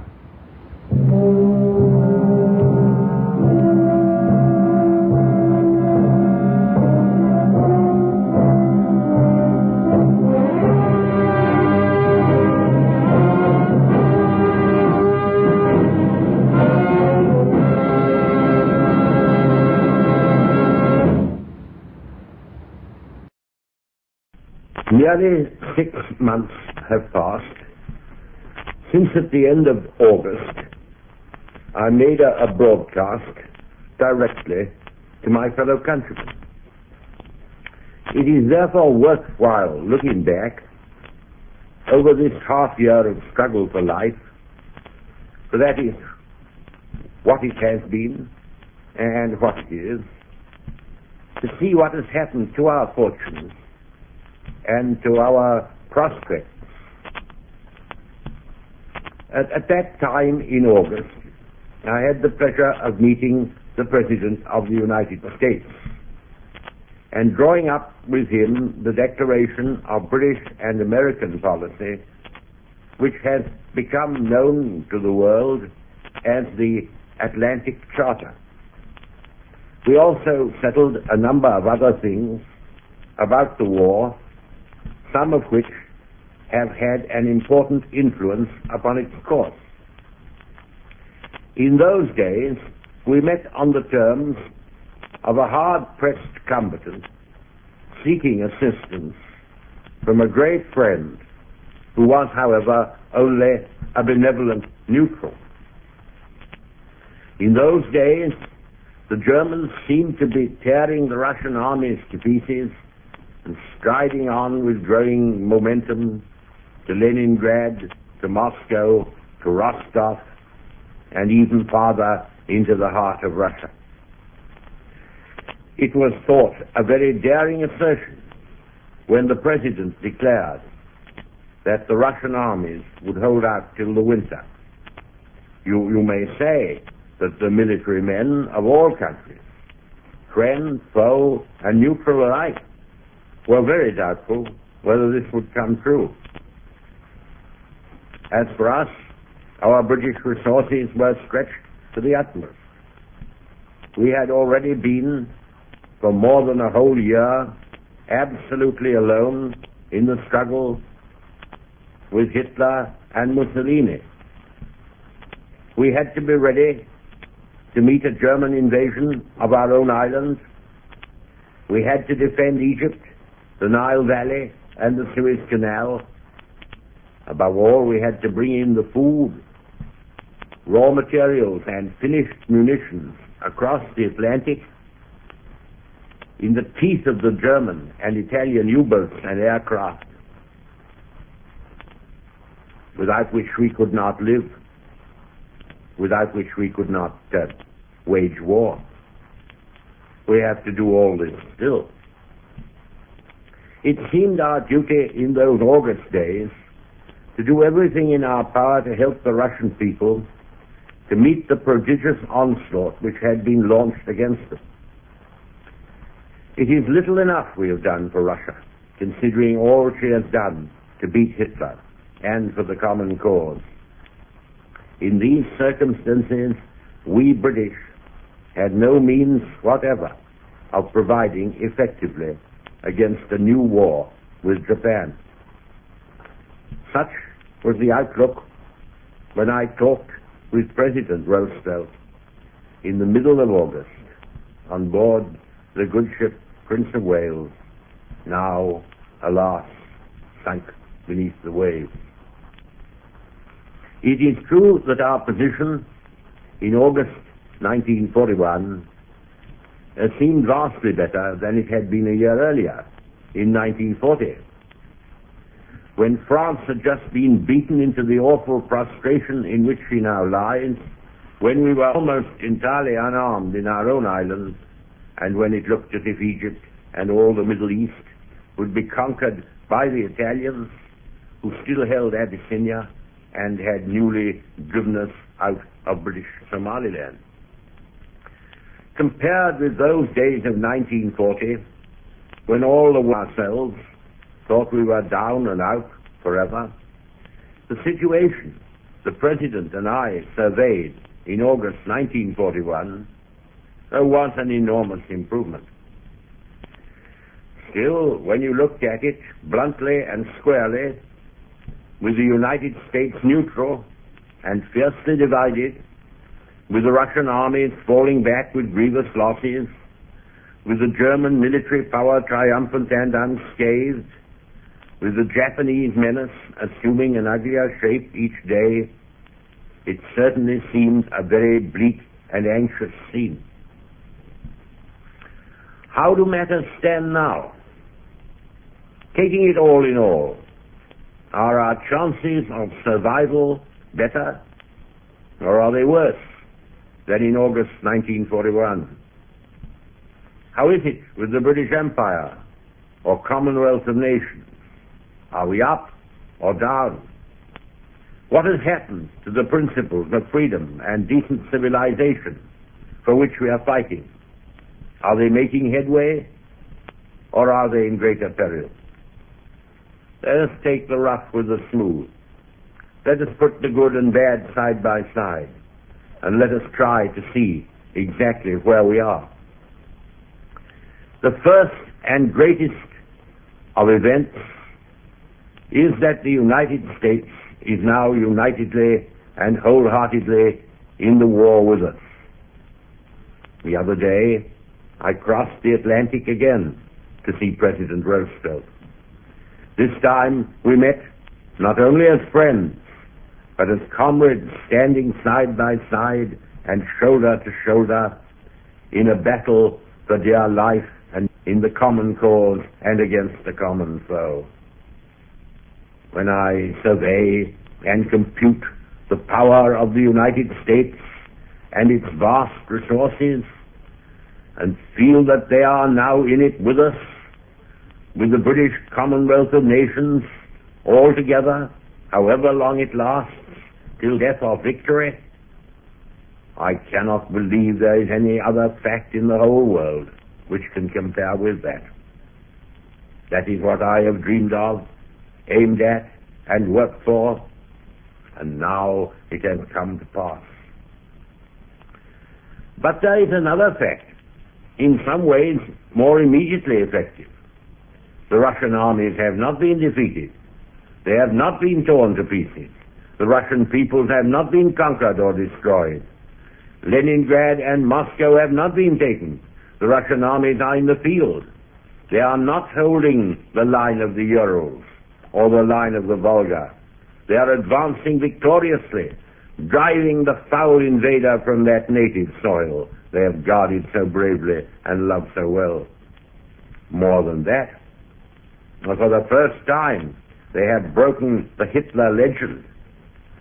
Instead of the easy victories and abundant booty which he and his hordes had gathered in the West, he found in Russia so far only disaster, failure, the shame of unspeakable crimes, the slaughter, the icy wind that blows across the Russian snow. Here then are two tremendous fundamental facts which will in the end dominate the world situation and make victory possible in a form never possible before. But there is another heavy and terrible side to the account, and this must be set in the balance against these inestimable gains. Japan has plunged into the war and is ravaging the beautiful, fertile, prosperous, and densely populated lands of the Far East. It would never have been in the power of Great Britain while fighting Germany and Italy, the nations long hardened and prepared for war, while fighting in the North Sea, in the Mediterranean, and the Atlantic, it would never have been in our power to defend the Pacific and the Far East single-handed against the onslaught of Japan. We have only just been able to keep our heads above water at home. Only by a narrow margin have we brought in the food and the supplies. Only by so little have we held our own in the Nile Valley and the Middle East. The Mediterranean is closed, and all our transports have to go round the Cape of Good Hope, each ship making only three voyages in the year. Not a ship, not an airplane, not a tank, not an anti-tank, or an anti-aircraft gun has stood idle.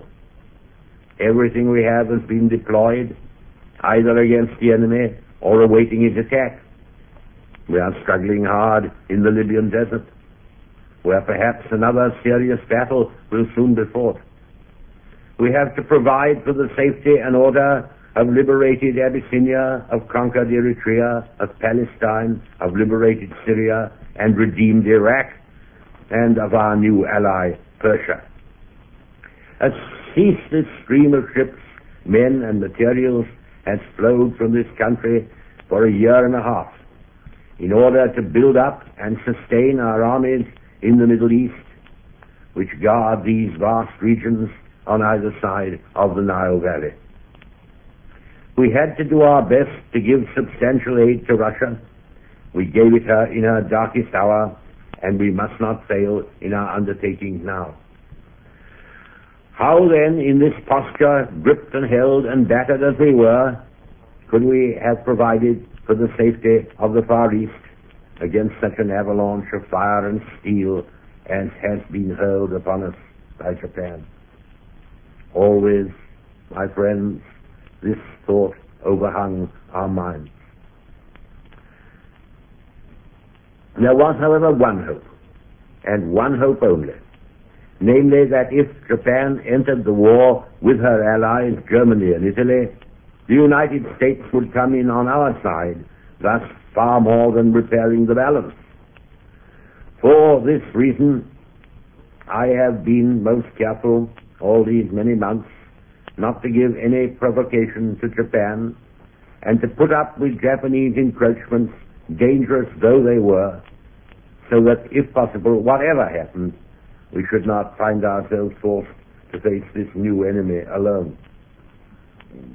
I could not be sure that we should succeed in this policy, but it has come to pass. Japan has struck her felon blow, and a new, far greater champion has drawn the sword of implacable vengeance against us and on our side. I shall frankly state to you that I did not believe it was in the interests of Japan to burst into war both upon the British Empire and the United States. I thought it would be a very irrational act.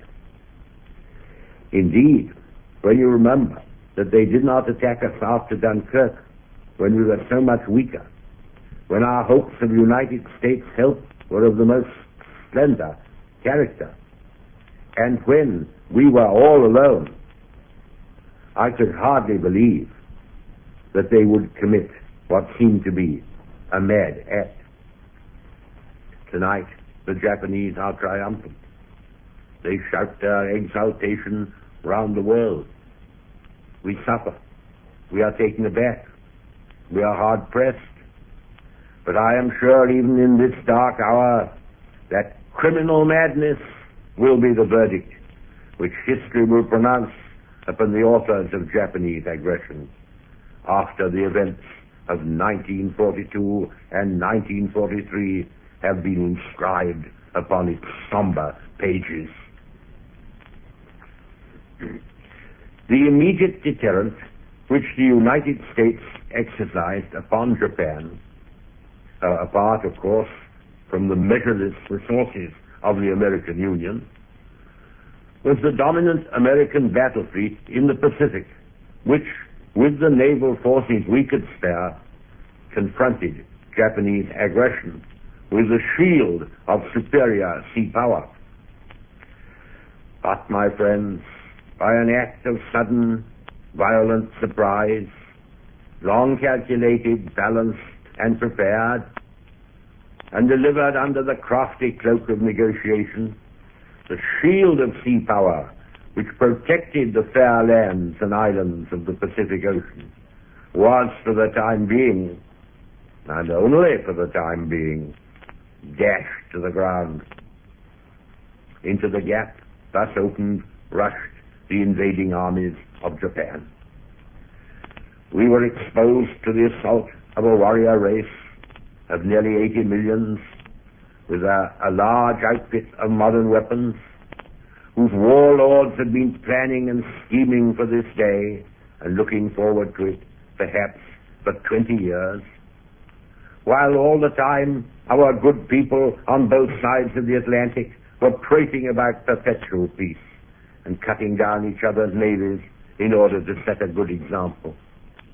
Overthrow, for a while, of British and United States sea power in the Pacific was like the breaking of some mighty dam.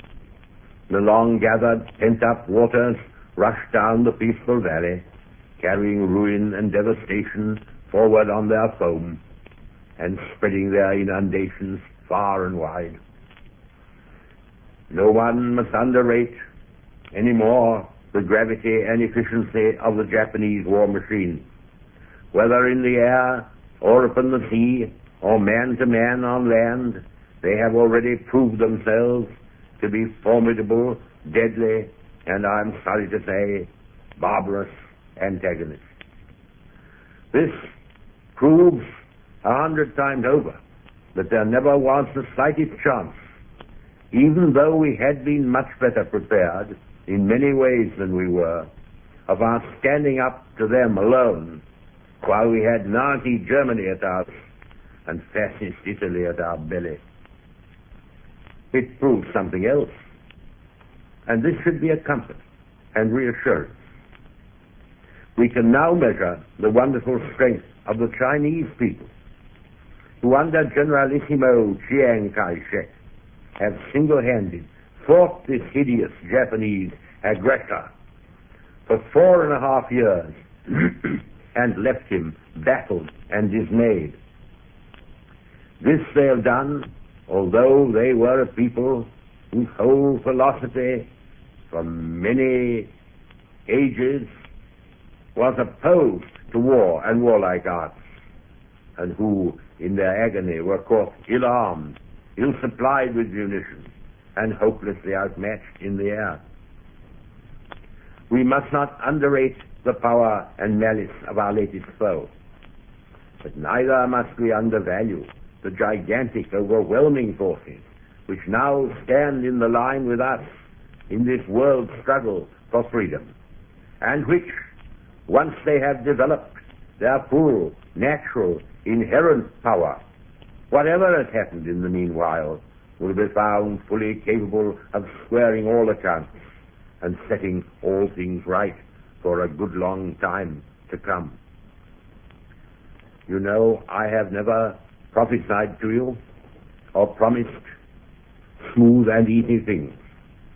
And now all I have to offer is hard, adverse war for many months ahead. I must warn you, as I warned the House of Commons before they gave me their generous vote of confidence a fortnight ago, that many misfortunes, severe torturing losses, remorseless and gnawing anxieties lie before us. To our British folk, these may seem even harder to bear when they are at a great distance than when the savage Hun was shattering our cities and we all felt in the midst of the battle ourselves. But the same qualities which brought us through the awful jeopardy of the summer of 1940 and its long autumn and winter bombardment from the air will bring us through this other new ordeal, though it may be more costly and will certainly be longer. One fault, one crime, and one crime only can rob the United Nations and the British people, upon whose constancy this grand alliance came into being, of the victory upon which their lives and honor depend. A weakening in our purpose, and therefore in our unity. That is the mortal crime. Whoever is guilty of that crime, or of bringing it about in others, of him let it be said that it were better for him that a millstone were hanged about his neck, and he were cast into the sea. Last autumn, when Russia was in a most dire peril, when vast numbers of our soldiers had been killed or taken prisoners, when one third of our whole munitions capacity lay, as it still lies, in Nazi German hands, when Kiev fell and the foreign ambassadors were ordered out of Moscow, the Russian people did not fall to bickering among themselves. They just stood together and worked and fought all the harder. They did not lose trust in their leaders. They did not try to break up their government. Hitler had hoped to find quislings and fifth columnists in the wide region he overran and among the unhappy masses who fell into his power. He looked for them. He searched for them, but he found none. the system upon which the Soviet government is founded is very different from ours or from that of the United States. However that may be, the fact remains that Russia received blows which her friends feared and her foes believed were mortal, and through preserving national unity and persevering undaunted, Russia has had the marvelous comeback for which we thank God now. In the English-speaking world, we rejoice in free institutions. We have free parliaments and a free press. This is the way of life we have been used to. This is the way of life we are fighting to defend. But it is the duty of all who take part in those three institutions to make sure, as the House of Commons and the House of Lords have done, and will, I doubt not, do, that the national executive government in time of war have a solid foundation on which to stand and on which to act. That the misfortunes and mistakes of war are not exploited against them. That while they are kept up to the mark by helpful and judicious criticism or advice, they are not deprived of the persisting power to run through a period of bad times and many cruel vexations and come out on the other side and get to the top of the hill. Tonight, I speak to you at home. I speak to you in Australia and New Zealand, for whose safety we will strain every nerve.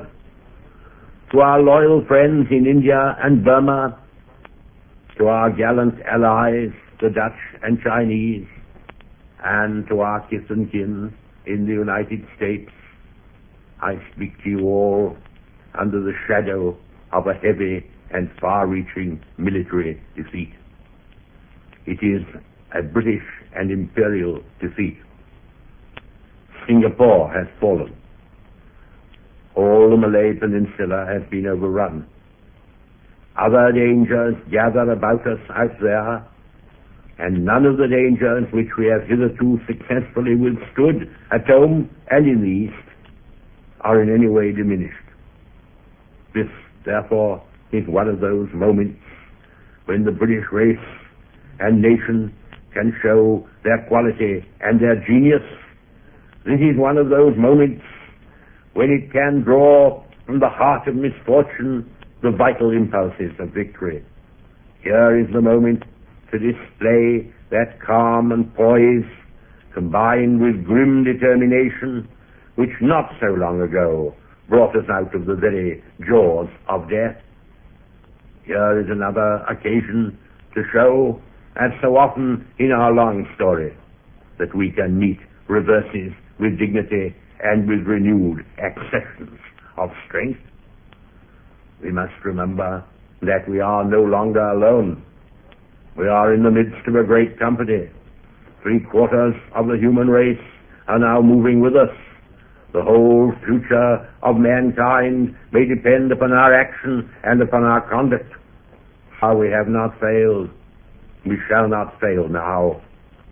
Let us move forward steadfastly together into the storm and through the storm.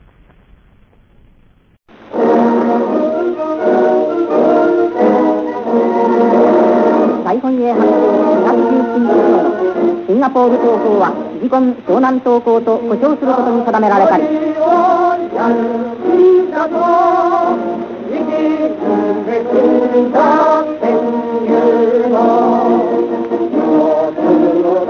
「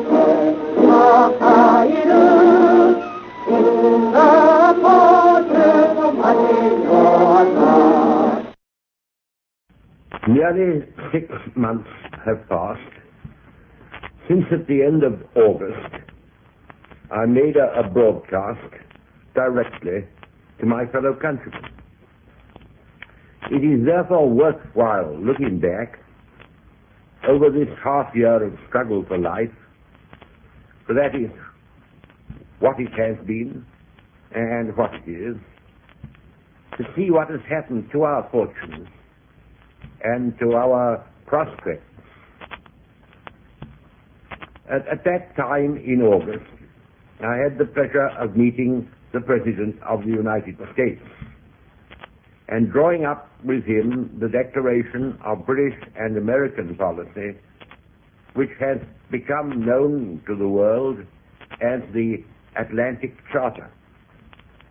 We also settled a number of other things about the war, some of which have had an important influence upon its course.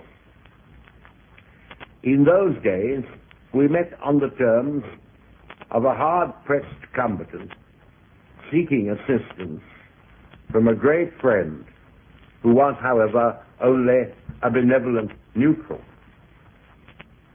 In those days, the Germans seemed to be tearing the Russian armies to pieces and striding on with growing momentum to Leningrad, to Moscow, to Rostov, and even farther into the heart of Russia. It was thought a very daring assertion when the President declared that the Russian armies would hold out till the winter. You, you may say that the military men of all countries, friend, foe, and neutral alike, were very doubtful whether this would come true. As for us, our British resources were stretched to the utmost.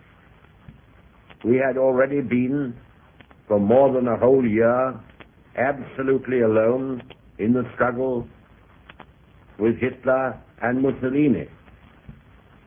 We had to be ready to meet a German invasion of our own island. We had to defend Egypt, the Nile Valley, and the Suez Canal. Above all, we had to bring in the food, raw materials, and finished munitions across the Atlantic in the teeth of the German and Italian U-boats and aircraft, without which we could not live, without which we could not uh, wage war. We have to do all this still. It seemed our duty in those August days to do everything in our power to help the Russian people to meet the prodigious onslaught which had been launched against them. It is little enough we have done for Russia, considering all she has done to beat Hitler and for the common cause. In these circumstances, we British had no means whatever of providing effectively against a new war with Japan. Such was the outlook when I talked with President Roosevelt in the middle of August on board the good ship Prince of Wales, now, alas, sunk beneath the waves.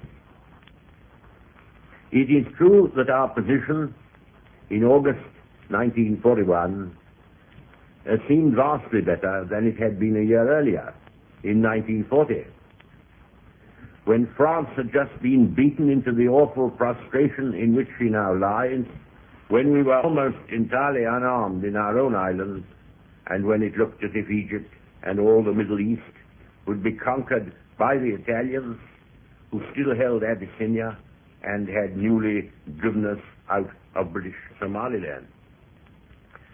Compared with those days of 1940, when all of ourselves thought we were down and out forever, the situation the President and I surveyed in August 1941 uh, was an enormous improvement. Still, when you looked at it bluntly and squarely, with the United States neutral and fiercely divided, with the Russian armies falling back with grievous losses, with the German military power triumphant and unscathed, with the Japanese menace assuming an uglier shape each day, it certainly seemed a very bleak and anxious scene.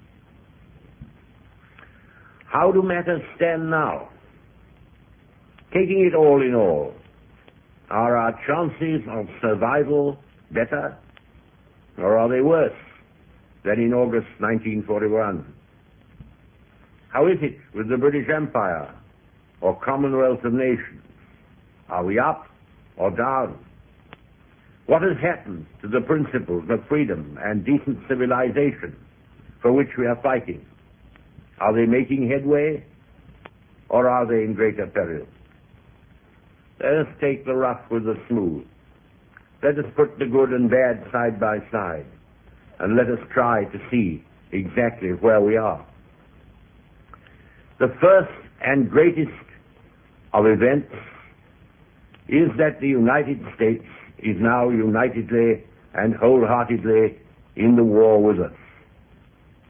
The other day, I crossed the Atlantic again to see President Roosevelt. This time we met not only as friends, but as comrades standing side by side and shoulder to shoulder in a battle for dear life and in the common cause and against the common foe.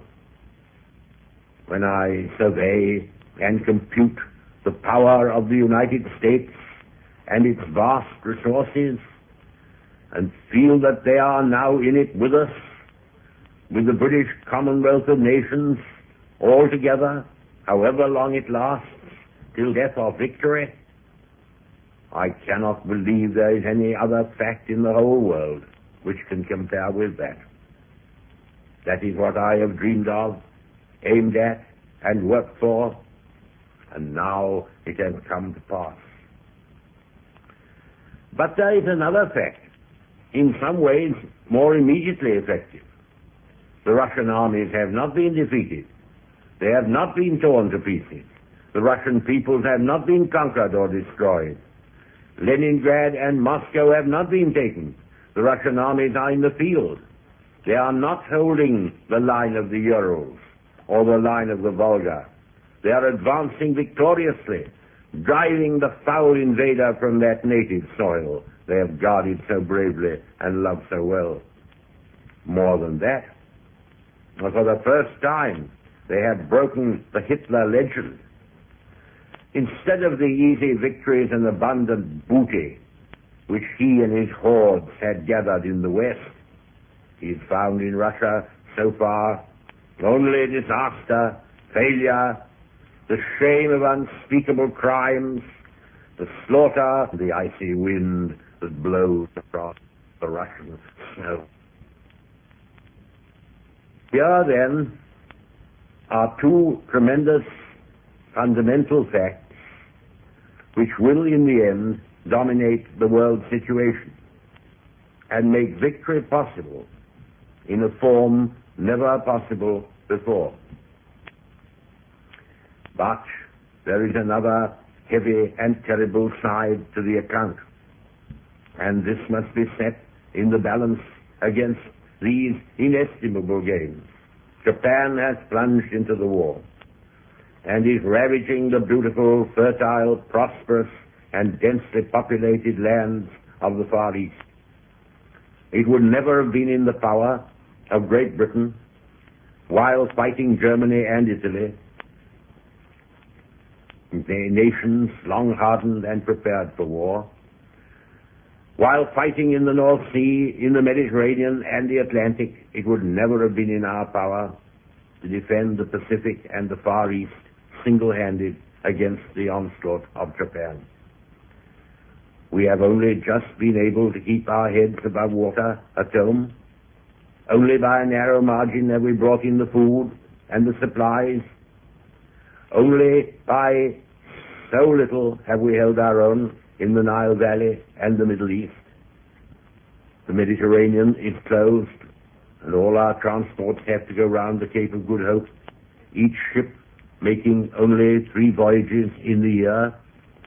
Not a ship, not an airplane, not a tank, not an anti-tank, or an anti-aircraft gun has stood idle. Everything we have has been deployed, either against the enemy or awaiting his attack. We are struggling hard in the Libyan desert, where perhaps another serious battle will soon be fought. We have to provide for the safety and order of liberated Abyssinia, of conquered Eritrea, of Palestine, of liberated Syria, and redeemed Iraq, and of our new ally, Persia. A ceaseless stream of ships, men, and materials has flowed from this country for a year and a half in order to build up and sustain our armies in the Middle East, which guard these vast regions on either side of the Nile Valley. We had to do our best to give substantial aid to Russia. We gave it her in her darkest hour, and we must not fail in our undertaking now. How then, in this posture, gripped and held and battered as we were, could we have provided for the safety of the Far East against such an avalanche of fire and steel as has been hurled upon us by Japan? Always, my friends, this thought overhung our minds.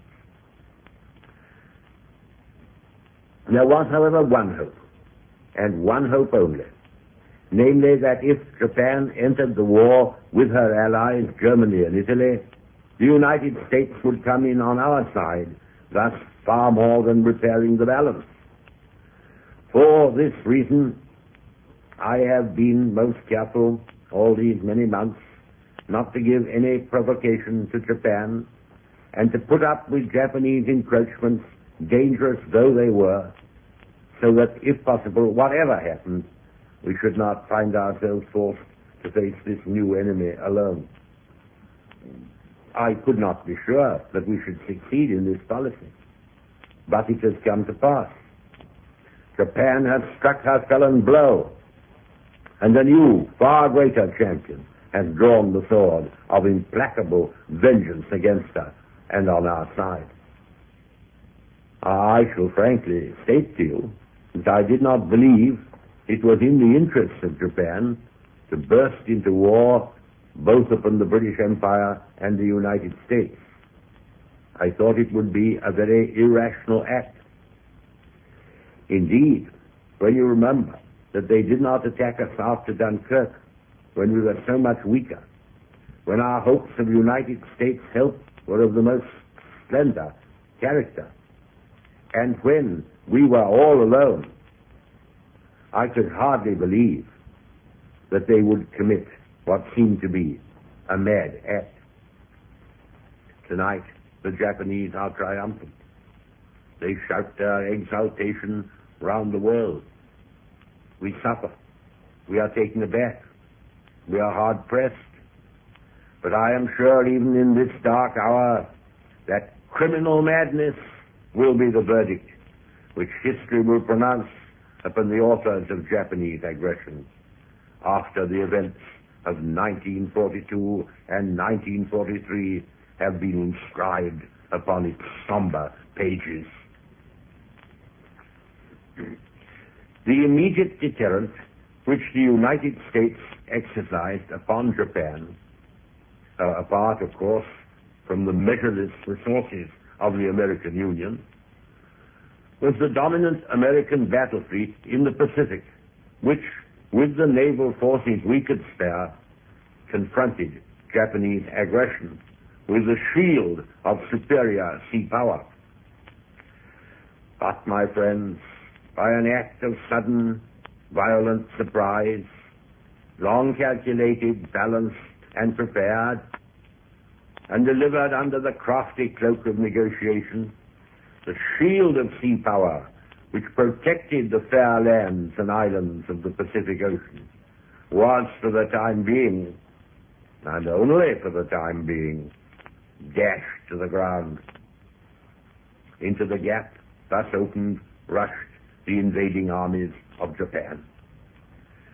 We were exposed to the assault of a warrior race of nearly 80 millions with a, a large outfit of modern weapons whose warlords had been planning and scheming for this day and looking forward to it perhaps for 20 years, while all the time our good people on both sides of the Atlantic were prating about perpetual peace and cutting down each other's navies in order to set a good example.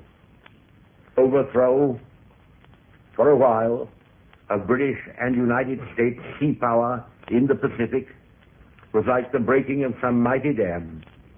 The long gathered, pent up waters rushed down the peaceful valley, carrying ruin and devastation forward on their foam and spreading their inundations far and wide. No one must underrate any more the gravity and efficiency of the Japanese war machine.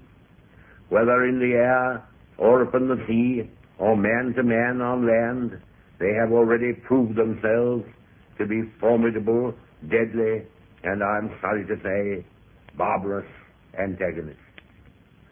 This proves a hundred times over that there never was the slightest chance, even though we had been much better prepared in many ways than we were, of our standing up to them alone while we had Nazi Germany at our and fascist Italy at our belly. It proved something else. And this should be a comfort and reassurance.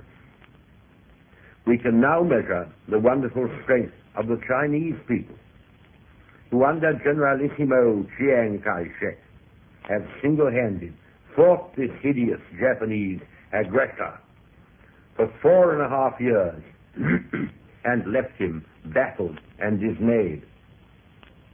This they have done, although they were a people whose whole philosophy for many ages was opposed to war and warlike arts, and who, in their agony, were caught ill-armed, ill-supplied with munitions, and hopelessly outmatched in the air. We must not underrate the power and malice of our latest foe, but neither must we undervalue the gigantic, overwhelming forces which now stand in the line with us in this world struggle for freedom, and which, once they have developed their full, natural, inherent power, whatever has happened in the meanwhile, will be found fully capable of squaring all accounts and setting all things right for a good long time to come. You know, I have never prophesied to you or promised smooth and easy things. And now all I have to offer is hard, adverse war for many months ahead. I must warn you, as I warned the House of Commons before they gave me their generous vote of confidence a fortnight ago, that many misfortunes, severe torturing losses, remorseless and gnawing anxieties lie before us. To our British folk, these may seem even harder to bear when they are at a great distance than when the savage Hun was shattering our cities and we all felt in the midst of the battle ourselves. But the same qualities which brought us through the awful jeopardy of the summer of 1940 and its long autumn and winter bombardment from the air will bring us through this other new ordeal, though it may be more costly and will certainly be longer. One fault, one crime, and one crime only can rob the United Nations and the British people, upon whose constancy this grand alliance came into being, of the victory upon which their lives and honor depend. A weakening in our purpose, and therefore in our unity. That is the mortal crime. Whoever is guilty of that crime, or of bringing it about in others, of him let it be said that it were better for him that a millstone were hanged about his neck, and he were cast into the sea.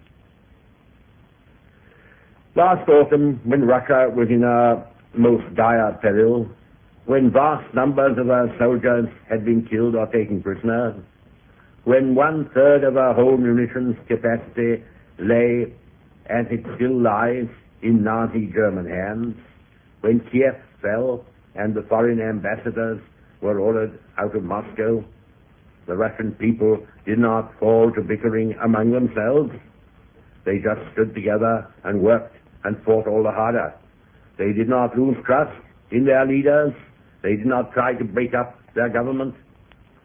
Hitler had hoped to find quislings and fifth columnists in the wide regions he overran and among the unhappy masses who fell into his power. He looked for them. He searched for them, but he found none. The system upon which the Soviet government is founded is very different from ours or from that of the United States. However that may be, the fact remains that Russia received blows which her friends feared and her foes believed were mortal, and through preserving national unity and persevering undaunted, Russia has had the marvelous comeback for which we thank God now. In the English-speaking world, we rejoice in free institutions. We have free parliaments and a free press. This is the way of life we have been used to. This is the way of life we are fighting to defend.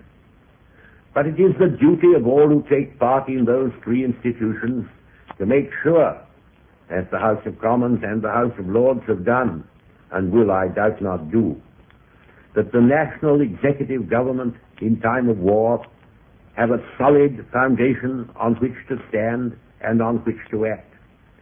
That the misfortunes and mistakes of war are not exploited against them. That while they are kept up to the mark by helpful and judicious criticism or advice, they are not deprived of the persisting power to run through a period of bad times and many cruel vexations and come out on the other side and get to the top of the hill. Tonight, I speak to you at home. I speak to you in Australia and New Zealand, for whose safety we will strain every nerve. To our loyal friends in India and Burma, to our gallant allies, the Dutch and Chinese, and to our kith and kin in the United States, I speak to you all under the shadow of a heavy and far-reaching military defeat. It is a British and imperial defeat. Singapore has fallen. All the Malay Peninsula has been overrun. Other dangers gather about us out there, and none of the dangers which we have hitherto successfully withstood at home and in the East are in any way diminished. This, therefore, is one of those moments when the British race and nation can show their quality and their genius. This is one of those moments when it can draw from the heart of misfortune the vital impulses of victory. Here is the moment to display that calm and poise combined with grim determination which not so long ago brought us out of the very jaws of death. Here is another occasion to show, as so often in our long story, that we can meet reverses with dignity and with renewed accessions of strength. We must remember that we are no longer alone. We are in the midst of a great company. Three quarters of the human race are now moving with us. The whole future of mankind may depend upon our action and upon our conduct. How we have not failed, we shall not fail now. Let us move forward steadfastly together into the storm and through the storm.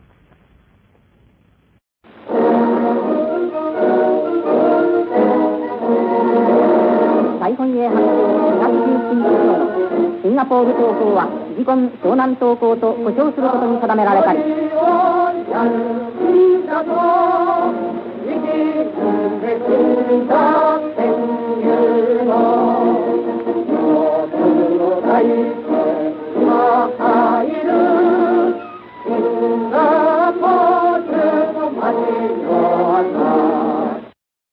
Good morning, everyone. Here is the Sunday morning roundup of the news from our correspondents all over the world. First, here is our reporter in London, England. This is London. John MacVane speaking. London has heard the Tokyo claim that the British forces in Singapore have asked for an armistice. But so far, there's no confirmation of the reports here. London heard from Cairo a few minutes ago that considerable movement of enemy mechanical transport and armored vehicles was observed yesterday east of the line Tamimi Makili. The British harassed them from the air and during the day practically wiped out an entire enemy air force of 30 dive bombers and fighters. London also learned from Batavia that the Japanese began a big sea attack today against Palembang, the oil center on the southeast coast of Sumatra. It's reported that the Dutch have begun destruction of the oil installations. If completed, it would be the greatest material voluntary destruction the world has known. It's said here that Palembang is the main center for supplying fuel the Allied navies in these parts of the world. If Palembang falls, the island of Bangka will almost inevitably come under Japanese control. This would cut off the southern approach to Singapore, making the encirclement of the island complete. As you know, there's been a lot of discussion in Britain about the Scharnhorst and Gneisenau. Commentators have talked about little else for the last three days. I've read most of what's been written here, and I've heard what various authoritative quarters have to say. Perhaps the most significant point is that if the German Navy has come up the channel once, it may do so again. There seems to be no real reason why, given proper weather conditions, the German Navy couldn't hold the channel for 24 hours, long enough for a fleet of invasion barges to get across and establish a bridgehead in England. The Germans now have a pretty sizable naval fleet, led by the battleship Tirpitz. With the British and American fleets scattered all over the world, the Germans can put out a naval striking force that might establish temporary control of a limited area. The destruction of big Allied convoys or the guarding of invasion craft seem to be the two most obvious ways of using that force. To work in mid-Atlantic would give the British and American navies the chance to concentrate against the German fleet. But working in the North Sea, off the Norwegian coast, or in the Channel under heavy fighter protection would mean the Germans could do their work and get back to shelter before we could challenge them with any power sure to destroy them. Even in mid-Atlantic, the German fleet wouldn't be easy to find. If the enemy did get their whole naval force loose in the Atlantic, it could threaten all Atlantic communications, open up the possibility of a prestige raid against the, the eastern coast of the United States, and generally challenge Allied control of the Atlantic. Unexpected audacity has paid the Germans well more than once, and it might do so again. The action in the Channel proved not only the value of fighter protection for warships, it also proved that aircraft alone are not enough to stop big naval craft that are properly guarded. The British put between two and three hundred bombers and between three and four hundred fighters into the attack. The weather was so bad that the whole attack seems to have turned into an every man for himself offensive. But even if it had been better, there's no reason to think that the attack would have been sure of success. The German fighters had to protect only the small area above the moving convoy. If the weather had been clear, air losses on both sides might have been greater. But the British, the British would have had a better chance of scoring bomb hits. But the torpedo planes wouldn't have had any better chance of getting close enough to make sure of hitting the warships. The Germans are believed to have been helped in predicting weather conditions by the German embassy in Dublin. Weather moves from east, from west to east, and full reports of Eire weather today certainly help build up the German picture of what the weather will be over the Dover Straits or the North Sea tomorrow or the next day. The Sunday Times writer Scrutator, noting that the Germans met nothing bigger than a destroyer, today says that everyone understands that the Navy's larger units must be stationed outside the narrow waters. But it's another matter that they should be stationed too far off to attempt interception at all. Scrutator says the action serves as a, distinct warning that on certain sides, the RAF's efficiency needs keying up. John Gordon, editor of the Sunday Express, says one might reasonably have thought that after two years of preparation for an invasion, the British would have, have an anti-invasion machine ready in the channel, which would make the channel an inferno the moment hostile ships moved into it. The instant the Germans were spotted, he says, one might have imagined that clouds of mine-laying airplanes and small ships would have been strewing death in the limited sea path through which they must pass. That oil ships would be setting the sea on fire. That battleships fit to meet them would have been somewhere near to pounce on them. Yet what happened, Gordon adds? Airmen went out to bomb them with most magnificent bravery, but with the wrong machines for the job. This is John MacVane in London, returning you to New York. And next, a story as received here in New York from Moscow. Russian ski troops on the Central Front are crowding the Nazis backward to the old Polish border. Moscow radio says this morning that four more towns have been retaken in one sector alone in this continued drive westward from Moscow. On three sectors of this long front, the German dead number almost 3,000 in two days of bitter fighting. And now let's hear more about the fighting in the Pacific. For our next report, we take you to the newsroom in San Francisco. Now we span the vast expanse of the broad Pacific as we go directly to the Southwest Theater of War to pick up Sidney Albright in Batavia, Java. This is Sidney Albright speaking in Batavia. The time is 8.36 on Sunday evening. Giving details of the attack on Palembang and the destruction of the oil wells and installations in that area, today's communique of the Netherlands Indies Fighting Forces says, as was stated yesterday, the Japanese on Saturday morning launched an attack over Palembang, dropping large numbers of parachutists. One Japanese bomber was shot down. At three different points, a total of 700 parachutists were dropped, armed with Tommy guns and light mortars. The attack was clearly directed against the oil refineries, but the enemy did not succeed in conquering them.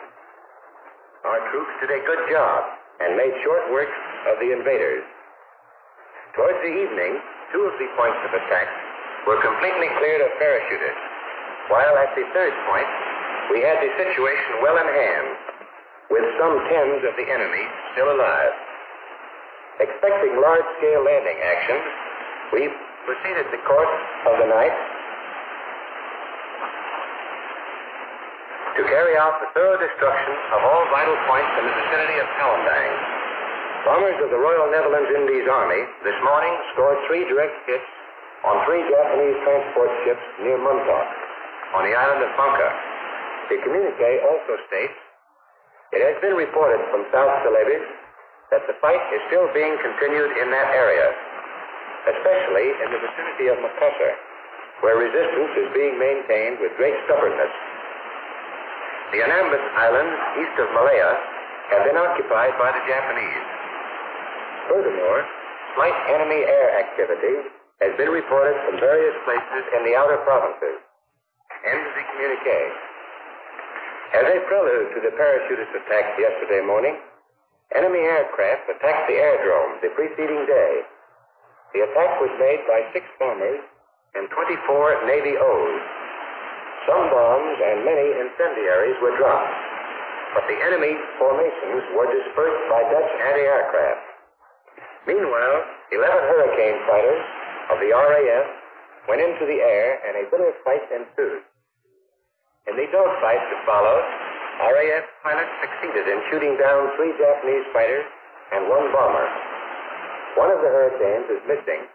One was destroyed on the ground, and a third crashed, but the pilot of this plane is safe.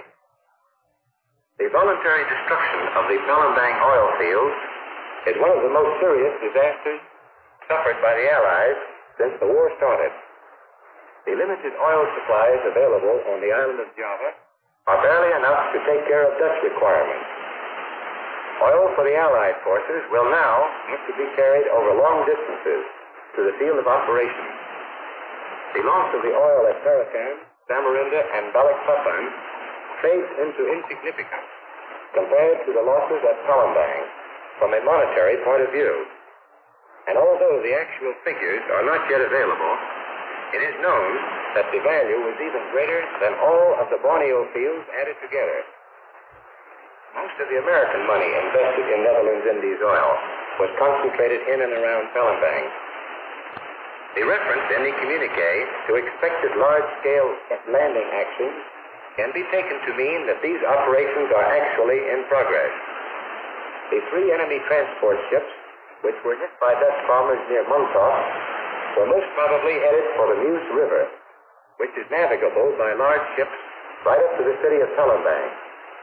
If this assumption is correct, it will be the first attempt to invade Sumatra, although various parts of the island have been subjected to frequent raids during the past month. I now return you to San Francisco. Across the nation to Morgan Beatty, who speaks from the newsroom in Washington. A week of Axis gains on both sides of the world has raised a storm of criticism in Great Britain, as John MacVane has told you. On our side of the Atlantic, the changing situation has brought numerous demands for a checkup of American war strategy and war production. The rubber situation is first on the list. Jesse Jones, War Finance Chief, and Donald Nelson, the War Production Czar, have issued a joint statement urging conservation of rubber. They admit we have barely enough to supply our armed forces for the next two years. The statement implies that Japanese advances in Malaya are responsible for the situation. But it is significant that neither Jones nor Nelson came forward until after Wendell Willkie and Senator Ralph Brewster of the political opposition demanded the truth about rubber. The statement probably comes too late to block a Senate committee investigation of the rubber situation, an inquiry aimed at finding out why we did not step up synthetic production before Pearl Harbor.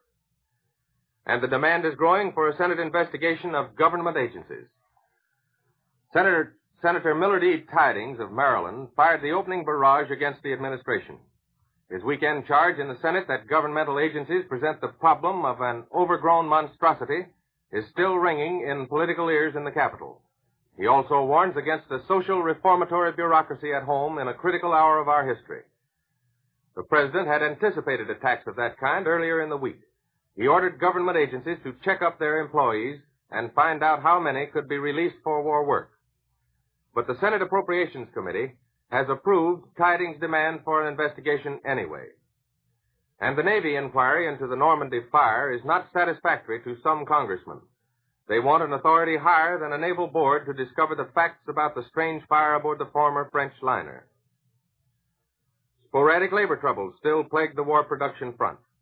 600 men have walked out of the aluminum company plant in, De- in Detroit, one of the most important defense plants in the Detroit area. The trouble had its beginning in CIO demands for double time on Sunday. The argument has been underway since January the 8th. And out in Seattle, that strike by independent welders has not been cleared up. But hundreds of AF of L men have charged the welders' picket line to enter the shipbuilding plants. All of these domestic worries have been added to reversals in the Far East and in the Atlantic war zone. They indicate a revision of war production upward and a drastic alteration of the strategic picture.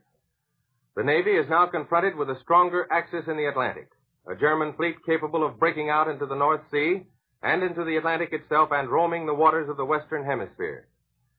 If that Navy could also take over the French fleet, a maneuver the Axis powers obviously hope to carry out, then we actually will be confronted with a two-ocean war and only a one-ocean Navy to fight that war. There's simply no blinking the fact that Japanese advances in the Orient and German threats in the Atlantic actually do bring a two-ocean war within the range of probability, which means the United States has reached a crossroads in history requiring more courage, more sacrifice, and greater determination than any of our pioneer forebears had to put forth. And new reports filtering into Washington reflect our intention to meet this challenge. For example, the executive of, big, of a big steel company has just reported that one of the plant's workmen has developed a shortcut to save five seconds on each billet of steel turned out. That five seconds means 79,000 tons more steel in that plant by the end of this year. That's all for now. And the news from Washington ends this Sunday morning roundup of news. You have heard John MacVane from London, Sidney Albright from Batavia, and Morgan Beatty from our own capital. For the latest news, keep tuned to this station. This is the National Broadcasting Company.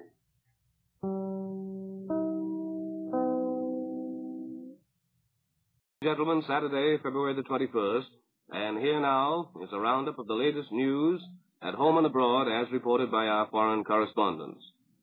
Now, we take you first today to London.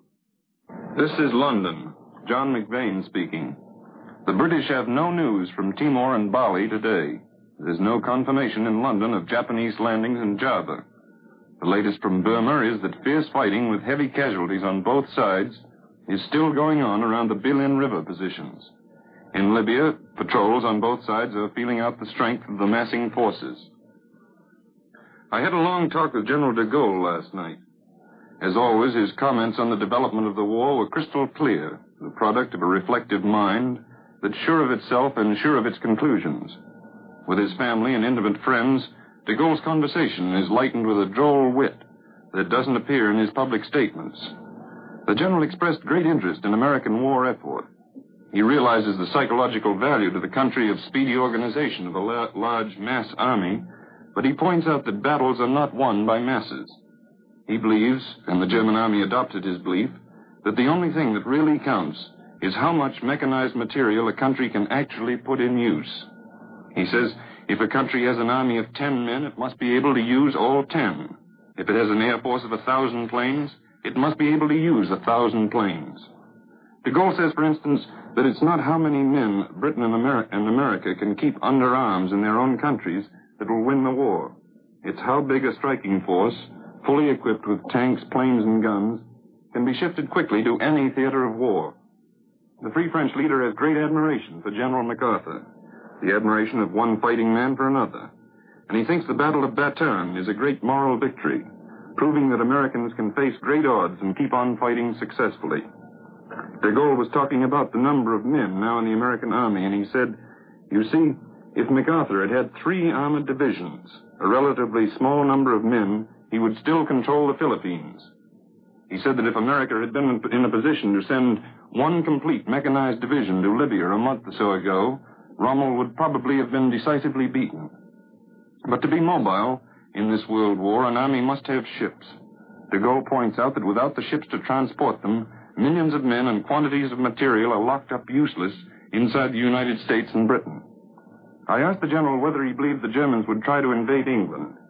He doesn't think that with the Russians pressing against them in the east, the Germans can spare enough men and material to try an invasion. The invasion of Britain would take thousands of planes and a huge quantity of ships, and de Gaulle doesn't think the Germans have enough to make invasion a probability this summer. But the Free French general does think the Germans will carry out an offensive in the east, probably a thrust on a comparatively small front toward the Caucasus oil. Britain is guarded against invasion by huge army, armies, but de Gaulle says there's no reason to think the Germans aren't worried by the possibility that the British may carry out an invasion of the continent. He thinks the offensive spirit is an important factor in war, that the Allies should be taking every opportunity to hit out at the enemy, to put them on the defensive. And the troops now guarding Britain might well be used to strike at the Germans. De Gaulle recalls that the actual German striking force that conquered France was a fairly small, mobile, powerfully armored force. And he thinks the democracy's tendency toward mass armies, the drafting of men from war industries, is a wrong line of thought. I got the impression that he believed there should be greater concentration on building the tanks, ships, and planes, the equipment that can give an army effective hitting power. What wins battles, he says, is the force you are able to exert at the right time in the right place, not the potential force that you can't put into the conflict. De Gaulle is sure that France will, after the war, again be an important factor in world civilization. He's quietly confident when he talks about France, for he's sure the Free French represent the vast, mute mass of the French people. The Vichy government, he thinks, no longer has any intrinsic importance. It serves Hitler well by making a certain percentage of the people in unoccupied France believe they are no longer in the war. This is a potentially dangerous feeling, for if Germany is beaten, and the French people feel they had no part in the victory, that it wasn't their victory just as much as that of Britain, Russia, and America, there'll be a smoldering discontent in France. And de Gaulle believes that peace in Europe after the war depends on one thing just how long the United States, Britain, Russia, and France will cooperate. Just before I left him, I asked de Gaulle what he thought of the Riom trial.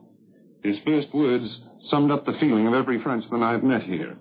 He said, In the first place, it isn't a trial. This is John MacVane in London, returning you to New York. Here in New York, we have two bulletins just been brought into the newsroom. The first is Dateline Batavia.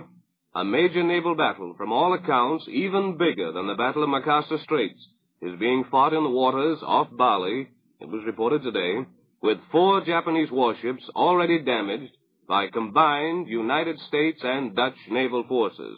The fighting, which apparently began shortly after midnight yesterday in a sharp sea engagement between Bali and Lombok Islands, apparently still is going on. And from Rangoon, Desperate attempts by Japanese invasion troops to penetrate the British held line west of the Bilin River have all been frustrated, officials declared today. Now we take you to the newsroom in San Francisco. From the west coast of the United States, we take you out across the blue Pacific to the Hawaiian Islands. Go ahead, Honolulu. This is Jim Wall speaking from KGU in Honolulu. It is 2.36 Saturday morning in Hawaii. The islands of Hawaii, forming the westernmost American bastion, stick out into the turbulent Pacific, to use common local parlance, like a sore thumb. But here we use the word sore in the sense of angry determination.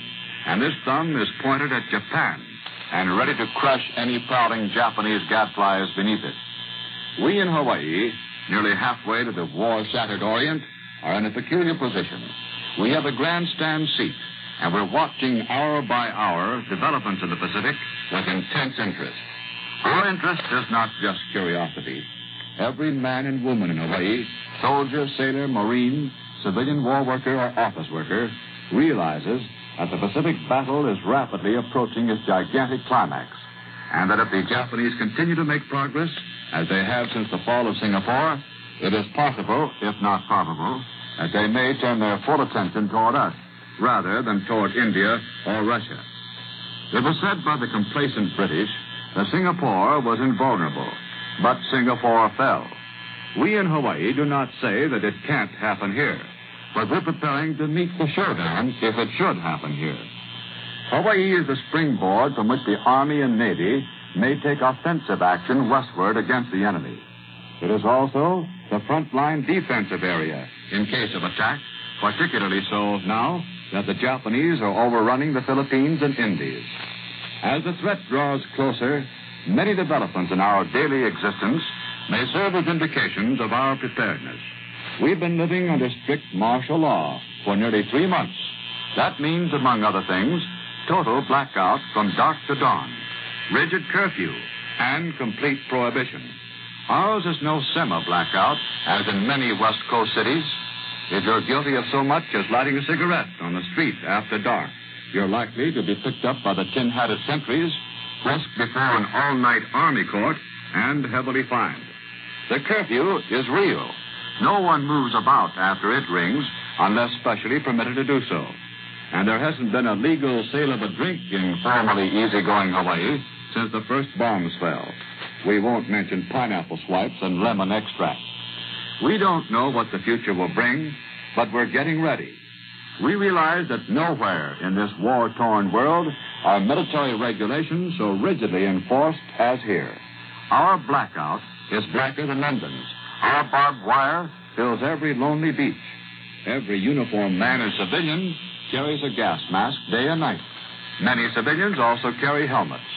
These regulations sometimes hurt, but there's no grumbling. We're too busy for that. We have rent control in Hawaii today to prevent profiteering. We have food price control for the same reason. We have a rigid rationing of gasoline. My home, for example, is on the other side of this island, 14 miles from Honolulu. But I haven't been able to live there since the war began because it's too difficult to travel over the winding roads in total blackout and because the gasoline rationing this month prohibits any idea of being able to move back.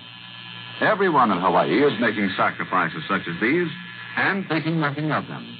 We expect to be inconvenienced by war, and many men who work hard six days a week go out on Sunday, their rest day, as volunteer workmen without pay to cut brush and trees and clear land which the Army wants to use.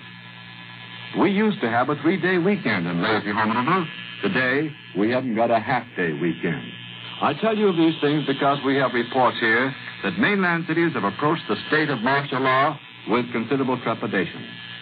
We don't have to be reminded to remember Pearl Harbor. There's just a short way down the beach here.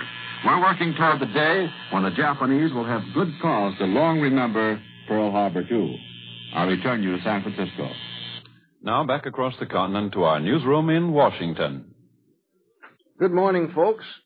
A great many of you interesting people write to me asking why someone does not rescue General MacArthur.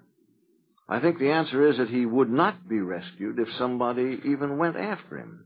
He could, they say, be taken away from there by an order from the commander in chief, the president.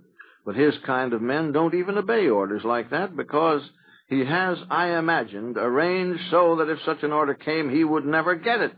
That's possible. Lord Nelson signaled to withdraw from a naval engagement, put his telescope to his blind eye.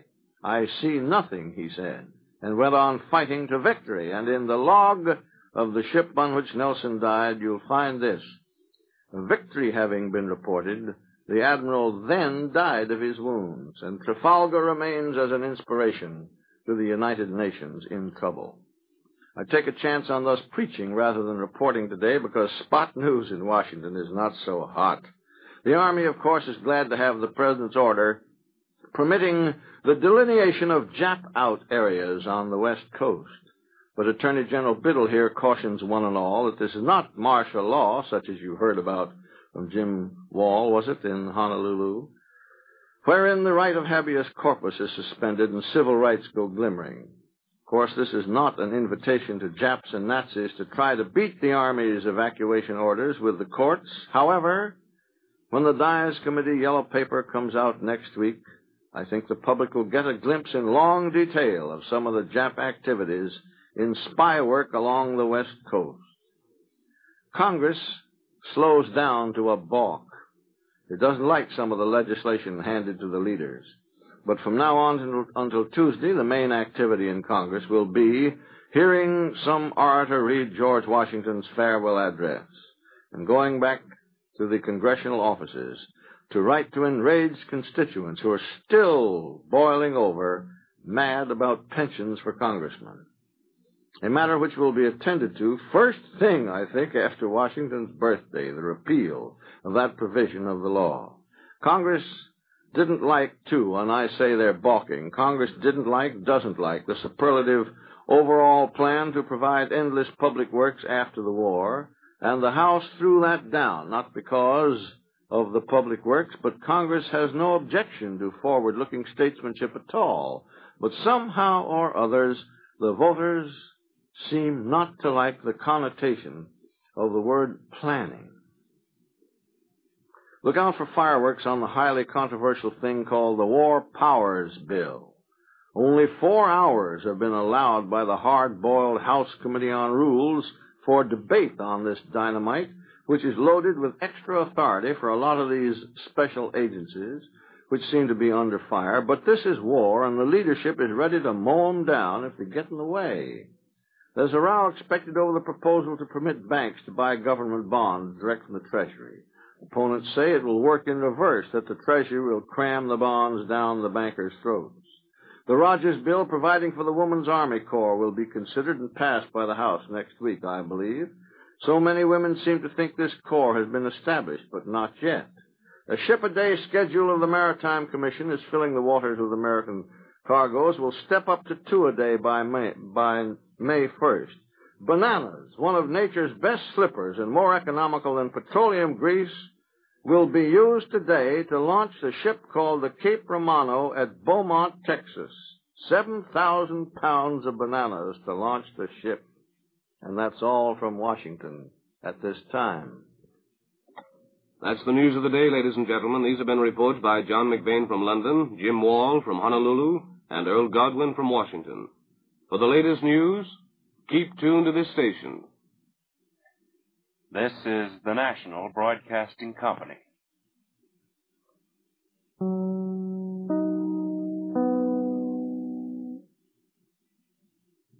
The program originally scheduled at this time will be delayed in order that we may bring you a special broadcast from the Far East War Zone.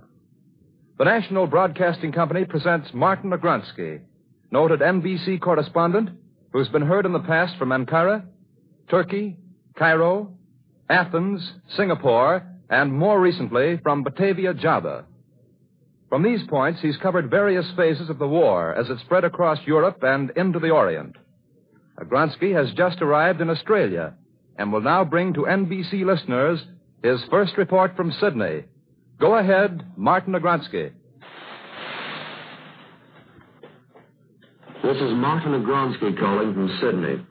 Today I arrived here from the Dutch East Indies after a flight on a Dutch bomber through the Jap air patrols over Java and the Indian Ocean. In the area I left behind me, the Japs, with the capture of Singapore, had already accomplished the first phase of their drive for empire in the Far East. On the day I left Java, they had successfully attacked and captured Palembang in southern Sumatra. As I flew over the Indian Ocean toward Australia, the their attack on Bali, just off Java's southernmost tip.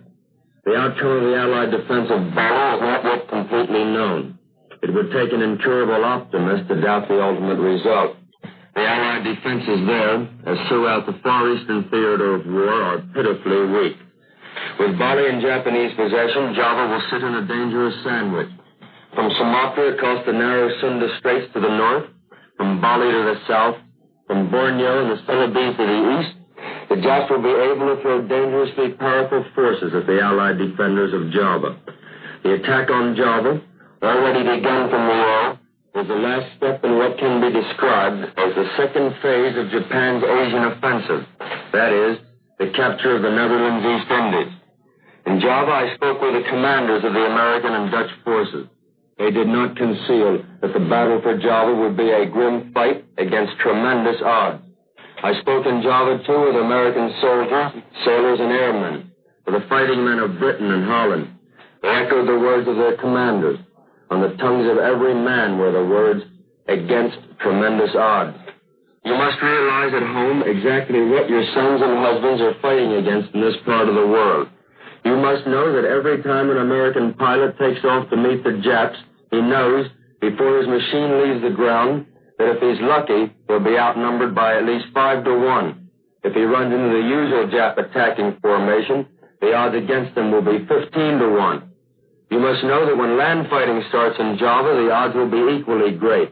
That in the seas throughout this entire area, the sailors of the American and Allied forces today and from the first day of the war have to face equally overwhelming odds. I don't know whether Java can be held. If 1,000 American fighter pilots and machines and another 500 bomber pilots and machines were to arrive there today, the Allies would have a good chance of holding Java.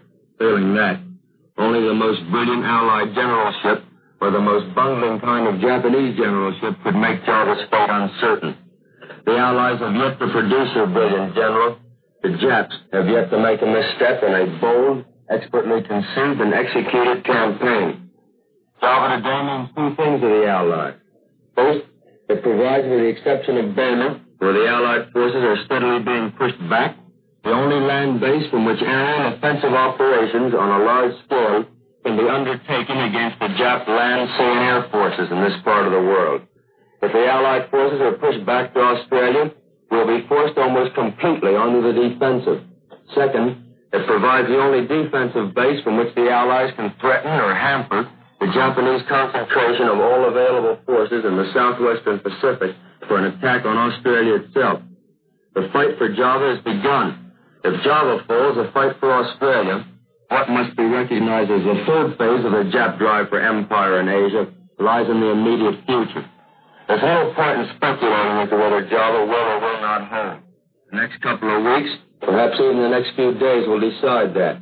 What is vital is that for once, the democratic nations do everything in their power, while there's still a long time, to create in Australia at least a force that will have a fighting chance of holding the Japs' victorious promenade toward the complete possession of the Far East. The Japs aren't supermen.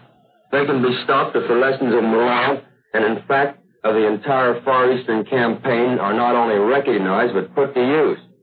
In Malaya, the British were not only outnumbered, but outsmarted and outgeneraled. Even admitting the original underestimation of the Jap strength put the British forces at a fatal disadvantage, it still remains true that from the first days of the campaign, the Japs gained nearly as much through their enemy's bungling as through their own well-executed. Anti-aircraft guns went into action against unidentified aircraft in the Los Angeles area shortly after 3 a.m. Pacific wartime this morning. The anti-aircraft guns began barking during a blackout ordered by the 4th Interceptor Command at 2.25 a.m. The unidentified object, which some sources thought might be a blimp, moved slowly down the Pacific coast from Santa Monica and disappeared south of Long Beach. Army officials declined to comment on the possibility that the object might have been a blimp. However, it required nearly 30 minutes to travel some 25 miles, far slower than an airplane. Watchers on the rooftop of the Columbia Broadcasting Building in the heart of Hollywood could plainly see the flashes of guns and searchlights sweeping the skies in a wide arc along the coastal area. Concussion of the shells could be felt in downtown Los Angeles, 15 miles away. The news of the world, Wednesday, February 25th. Once again, Columbia's correspondents in world capitals and in the fighting zones in the Western Pacific are ready to give you the latest news direct by shortwave radio. This morning we shall call in London, Los Angeles, and try to bring a direct report from somewhere in Java. In addition, Harry Marble will report on the news at points not covered by our direct pickup. But first, here are the highlights. Allied warplanes have gone into action over Macassar Straits again. Two enemy transports were sunk. A third Jap transport was sunk elsewhere. Fighting continues on Bali, Sumatra, and Timor. Japanese raiders appeared over many points in Java and again raided Port Moresby. Now, Harry Marble. In just a moment, we will call in Java, but first, the news in Russia. Russian troops were declared officially today to have crushed Germany's 16th Field Army. The Soviet forces surrounded the Germans in the Staraya Russa sector 10 days ago. When the Nazi commander refused to surrender, the Red Army attacked. A special high command communique this morning declared laconically that a few days ago the operations were concluded. And according to the Russians, they were concluded after 12,000 Germans had been killed, three divisions shattered, and vast stores of war equipment captured. This battle is big enough to rival the fighting in the Smolensk sector to the south. Now, for the news direct from abroad, we switch to the Dutch East Indies, to somewhere in Java, for the news by William J. Dunn.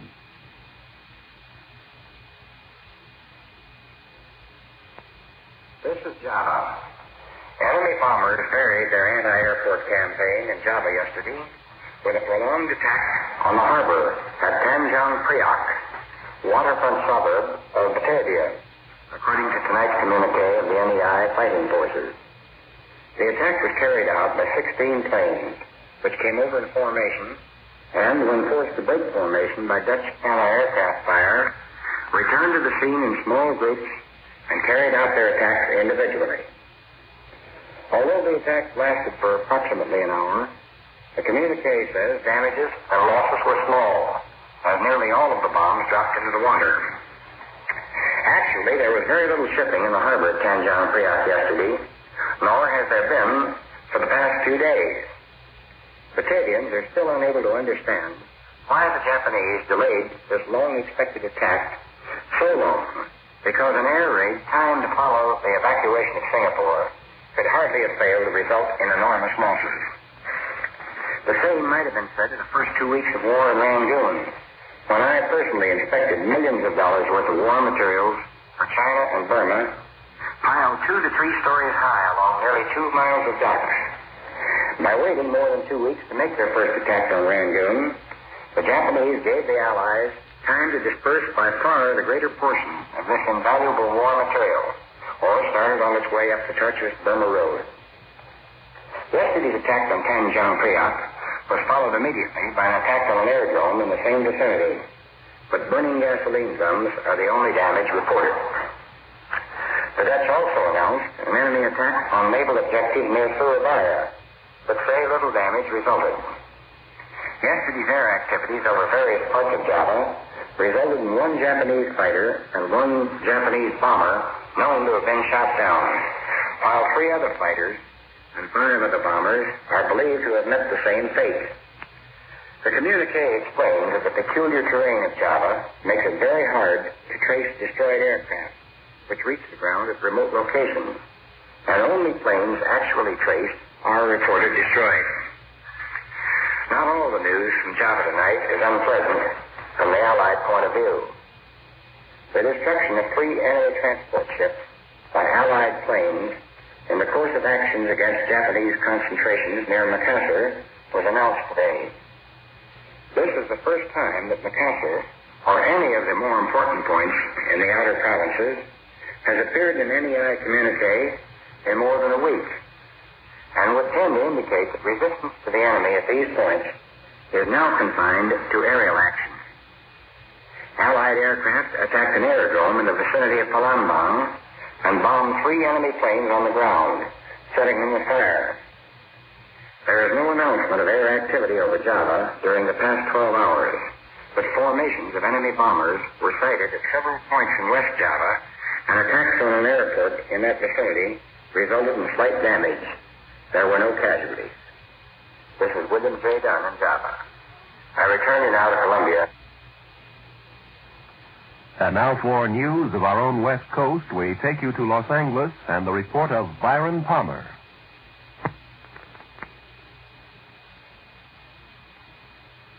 Anti-aircraft guns went into action against unidentified aircraft in the Los Angeles area shortly after 3 a.m. Pacific wartime this morning. The anti-aircraft guns began barking during a blackout ordered by the 4th Interceptor Command at 2.25 a.m. The unidentified object, which some sources thought might be a blimp, moved slowly down the Pacific coast from Santa Monica and disappeared south of Long Beach. Army officials declined to comment on the possibility that the object might have been a blimp. However, it required nearly 30 minutes to travel some 25 miles, far slower than an airplane. Watchers on the rooftop of the Columbia Broadcasting Building in the heart of Hollywood could plainly see the flashes of guns and searchlights sweeping the skies in a wide arc along the coastal area. Concussion of the shells could be felt in downtown Los Angeles, 15 miles away. U.S. Army planes quickly took to the dark skies, but whether they contacted the object has not been announced. Army officials say they will not comment until they receive a full report of the action. Although some watchers say they saw airplanes in the air, semi official sources say they probably were the U.S. Army's pursuit. Several observers say they saw one or more planes spotlighted by 20 or 30 searchlights. The object moved southward, presumably over Huntington Park at the western edge of Los Angeles, and on southward to about Long Beach on the coast. By 3:30 a.m., observers said the object appeared to be over the south of Long Beach. Searchlights closely followed the object down the coast and kept it centered in their glare. Shells frequently could be seen bursting near the object, but none appeared to hit it. The shooting stopped about 3:30 a.m. The shooting brought warfare to the front door of this city of a million and a quarter population for the first time since December 7th. Already it was alert to the presence off the Southern California coast of a Japanese submarine which had pumped 25 shells into an oil field north of Santa Barbara Monday evening. Because of the presence of the submarine, a three hour alert was ordered at dusk last night, and civilian authorities stood at their posts while the Army and Navy continued their search for the submersible.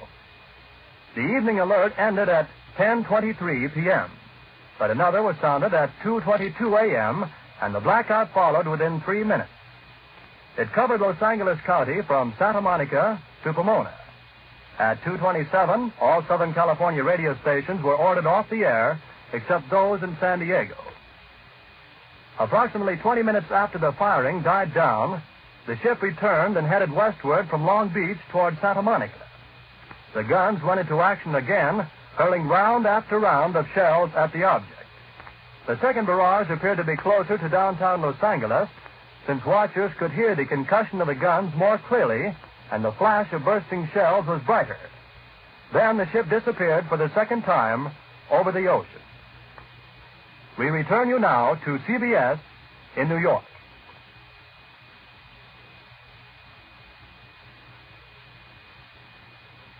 And that was Byron Palmer on the West Coast. Next, across the Atlantic, we take you now to London and Joseph Evans, Jr. Good morning. This is London.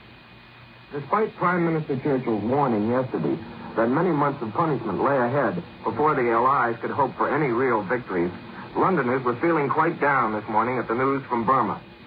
With most of its civilian population evacuated to safer areas in the north, Rangoon, the Burmese capital, was stripped for action to meet the Japanese invaders.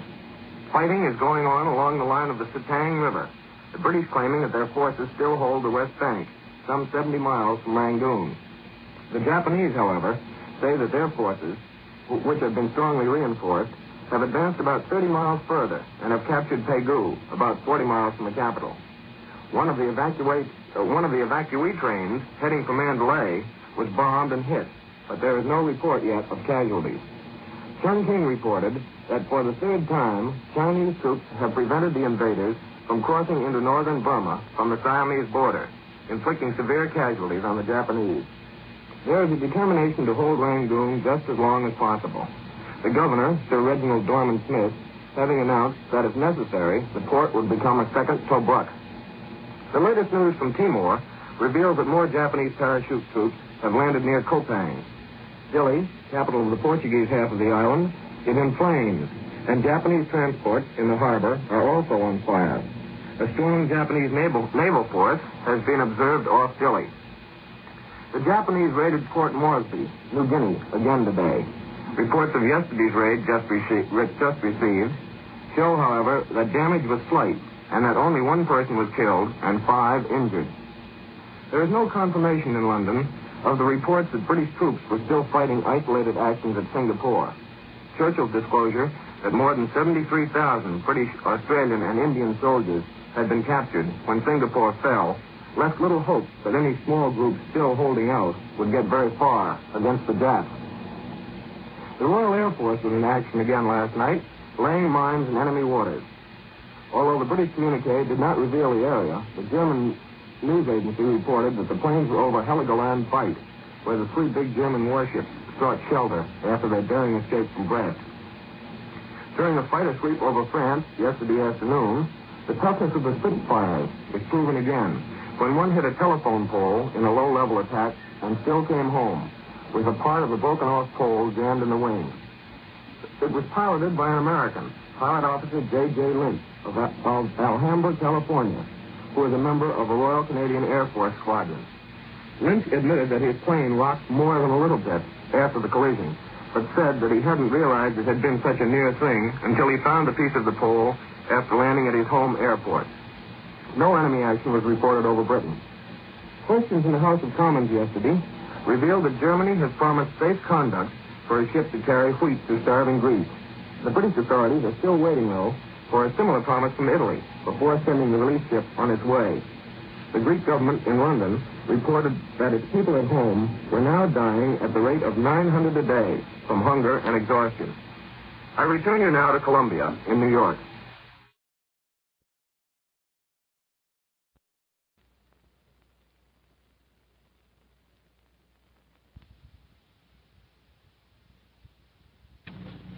This is war.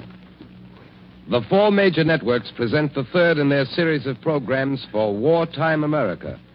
Tonight, Your Navy, by Maxwell Anderson with music by Kurt Weill.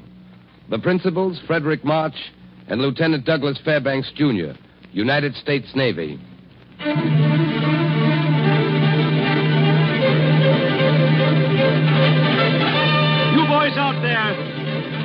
You boys on Blue Water.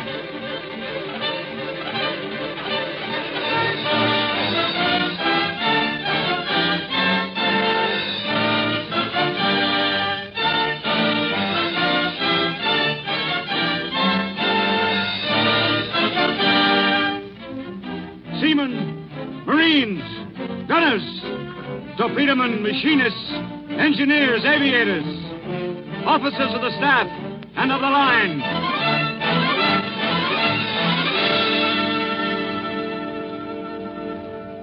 Enemy sub off the port bow, sir.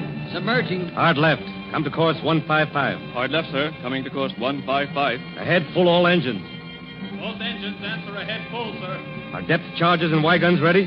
Depth charges and Y guns ready, sir. Depth setting 100 feet. Depth setting 100 feet, sir. Stand by. All ready. Standing by, sir. They're a hundred yards off sir. Drop pattern. Four X-ray. Drop one. Drop two. Drop three. Drop four.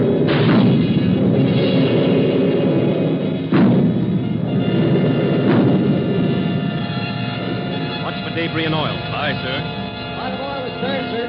Spreading. Very well. Come to your course. 180. New course 180, sir.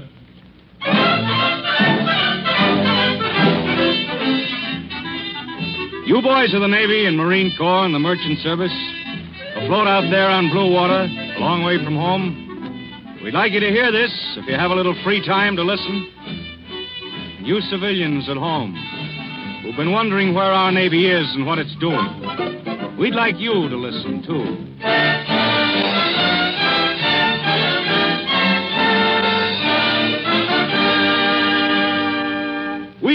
Are beginning to realize now that the struggle for freedom is linked up closely to the freedom of the seas. It used to be that when a conqueror set out to make slaves of his neighbors, he was content with one continent. And then the men who couldn't stand slavery would escape him and start off across the ocean to set up a center of freedom beyond his reach. So long as the seas were free and there was free land somewhere, they could do that. But this is a new kind of war. The conquerors are trying to take in all the continents and all the seas. They're trying, as it's never been tried before, to conquer the whole earth and all its waterways. If they succeed, then for the first time, it won't be possible to run away. All men will be slaves, and there'll be no centers of freedom. Nowhere to run, no ocean to escape across. One big slavery from pole to pole, from dateline around to dateline. A slavery protected by a monopoly in arms and airplanes. No hope of secession or rebellion. But there are still centers of freedom. Some of the seas are still free. They're risky to travel and getting more so, but it can be done. That's it. That's how it sounds. The big guns of the fleet speaking in the name of freedom loving nations. As of tonight, they hold the straits and sea lanes, making impossible the conquest of the earth by Hitler and his Japanese associates. And that's why we look towards our Navy nowadays. And we hope for so much from it. And we listen for news of it in a hush of hell breath and thumping hearts. If the men of the fleet weren't always out there in their battle wagons, cutting through tropic seas and Arctic ice, fighting storm and enemy and hidden danger, moving with the tides of freedom to the outposts of man's hope, we'd have this war on our front steps tomorrow. But they they sweep from the African Cape to the gateway of the Indian Ocean, through the Antipodes, the Persian Gulf, the North Atlantic, the White Sea. Fighting men, wearing American uniforms, standing on American decks, beside American guns, fighting the desperate battle which we must win.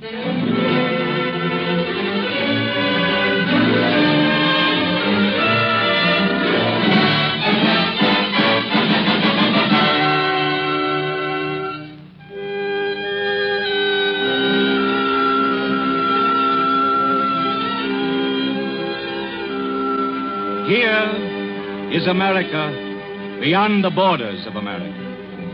Listen. The Maryland, the Pennsylvania, the Texas, the California, the Colorado, the Mississippi, the North Carolina, the Washington, the West Virginia, the Nevada, the Helena, the Atlanta, the Nashville, the Vincennes, the Wichita, the Savannah, the John Paul Jones, the Farragut, the Dewey, the Sim.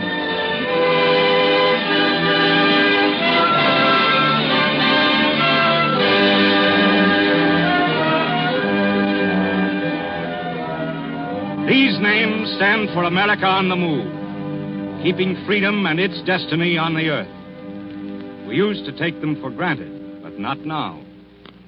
Now we listen eagerly to what we can learn firsthand of the Navy and how it works. Tell us, Lieutenant. I understand you've just been ordered ashore from convoy escort action, North Atlantic patrol duty for this occasion. Tell 130 million ship owners throughout the land how it goes with their men and their ships. Answer a big question for us, Lieutenant. What's it like in the Navy? In the Navy? Yeah. Well, of course, the Navy gives you quite a variety. Fair weather and foul, and eyes peering through the mist, and sextants and calculations, and the hundred and one sounds that mean freedom of the seas.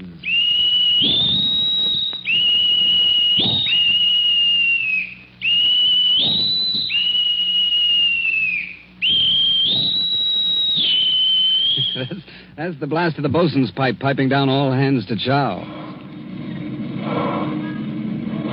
Those are the turbines turning over as the cruiser slips from the harbor under sealed orders in the dead of night. Those are the diesel engines powering our new trim submarines with names like Sculpin, Skipjack, Stingray, Shark. Now you'll hear the big electric motors humming, pushing the sub along at 10 knots underwater. Then there are the torpedoes leaving their tubes and heading home against the enemy. Now the sound detectors deep down beneath the waterline, picking up squeals and howls and all suspicious hums.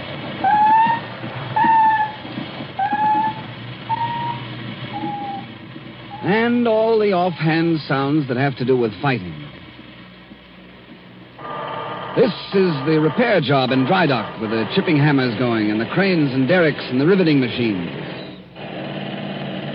Then, when you're at sea, the wind in the rigging. A fairly moderate wind on a fairly moderate sea. And, of course, the Navy doesn't run itself. Behind the ships and guns and the planning and detail, the office of the Secretary of the Navy. The shore establishments, the wireless towers, the check on movements, the shipyards, the longshoremen, the planning and the details. The Navy takes a lot of planning. It takes a lot of work. It takes planning and work on shore. It takes planning and work and hard fighting at sea. At this moment, there are ships loading at night by docks in every port busy with men and machines. Some of these sounds come from piers along the Jersey side of the Hudson, where the ice has come down from upstate.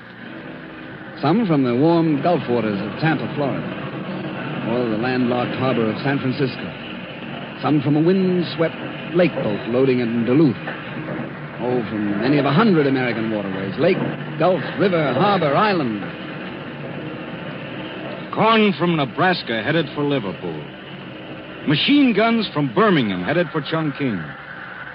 Tanks from Detroit headed for Africa. Wings from Baltimore going to Batavia. Woolens and canned milk and gasoline and anti aircraft. And the latest magazines going to Iceland. Steel and coffee and mail and fragmentation bombs going to Melbourne via Bermuda and Cape Town and. And other points. It looks romantic and it looks grim, and I suppose it's a little of both. The ships slipping away in the dark from this port and that harbor, and sailing around the point and across the bay and out to sea, and, and meeting in a secret rendezvous, waiting there until all the ships have gathered, gathered with their crews from a dozen different lands across a dozen seas. And finally, the skippers meeting in the Commodore's office just before they put out for the long, hard voyage, getting last minute instructions. And naturally, I don't have to stress the importance of the cargoes you're carrying. They're needed and they're badly needed. And they're the stuff that's going to help win this war. And it's up to us to see that they get where they're going. Now, any further questions? Don't have no questions, sir. No questions for me, Senor Commodore. Uh, oh, you, uh, Captain Mackenzie. Aye, sir. I believe you have the slower ship. Oh, she's not a bad one, sir. The speed of the entire convoy will be regulated by what you can make. How fast do you think you can push her? Oh, with the wind behind her, we can count on 12 knots, I guess, sir. uh, but we a headwind, I'm afraid maybe no more than 10 or 9. No more than six. Of course, if my chief engineer wouldn't argue with me all the time, maybe we could push her faster. Well, Captain, you realize that we'll get there just as soon as your ship does, and no sooner. oh, I'll do the best I can, sir. I know you will. Now, gentlemen, Captain Lovejoy here, who is commanding the convoy escort, will say a few words. Well, I just want to say that we'll give you the best possible protection at all times. And for your part, you can cooperate by keeping your formation and following out all instructions to the letter. Just remember to keep on the alert, because that's going to make it easier for all of us. We've got the guns and the men, and you've got the payload. So just do your part, we'll do ours. Are there any questions you want to ask Captain Lovejoy? Yes. What happens, Captain, if a ship has to drop out for repairs? Do we still get protection? I'm sorry, but that can't be done. If you break down, you're on your own. The safety of the majority is the hard and fast rule of the convoy. Any other questions, gentlemen? Well, I guess that answers everything. Right. All right, then, gentlemen. Good luck. Goodbye. May we all meet again. Thank you, sir. Thank you. Good luck. Just a detail, just a detail of what goes on every day of the week in many places on many seas. A detail of the vast and bloody canvas of this bitter struggle. Each successful convoy is an item in the reckoning, an item in the final tipping of the scale. And all that even before the gun reaches the man who does the fighting. Yep. Well, I can see that we uh, have to look a long, long way ahead. That's, uh, that's the size of it. How, uh, how long would you say, Lieutenant? Well, if it lasts longer than our lives, our children will have to fight it. We can't give up in either hemisphere. We've seen what the Japs and the Germans do to conquered nations. You know, some people refuse to believe that this country could lose the war. Well, we could lose if our allies lose. We could lose if Great Britain and Russia and China went down. Hmm. Our fleet would have a hard time keeping the oceans open if the British went on the same job in the Atlantic and the Pacific and Indian Oceans and in the Mediterranean. And if the Russians went in command of certain sea approaches. Why, if our allies fell, we'd be the last center of freedom in the world. Hmm. Well, how about those seamen out there in the ships? Are they aware of these things as they go about their work? I mean, do they do they know that they're one of the last bulwarks between civilization and darkness? Or are they casual about the matter? Oh, you, you can't be casual out there, I assure you of that. Oh, I suppose not. The first time you hear the call of battle stations, something something happens inside of you that you never feel anywhere else on sea or land. It's it's like ice and fire together in your veins. Your your eyes see farther and your ears hear better, and you're ready for anything. Death or a fight or cold water. How does it feel to uh, stand watch on the deck of an escort vessel? Just waiting for this sort of thing. Oh, it can be different at different times. I can remember days when the sea was calm and the whole convoy rode along like a string of ducks under a blue sky. That's uh Yeah. And I can remember nights and days on end that were a nightmare of storm and smashed gear and torpedoed ships. Some of these things aren't pleasant to remember. I can imagine.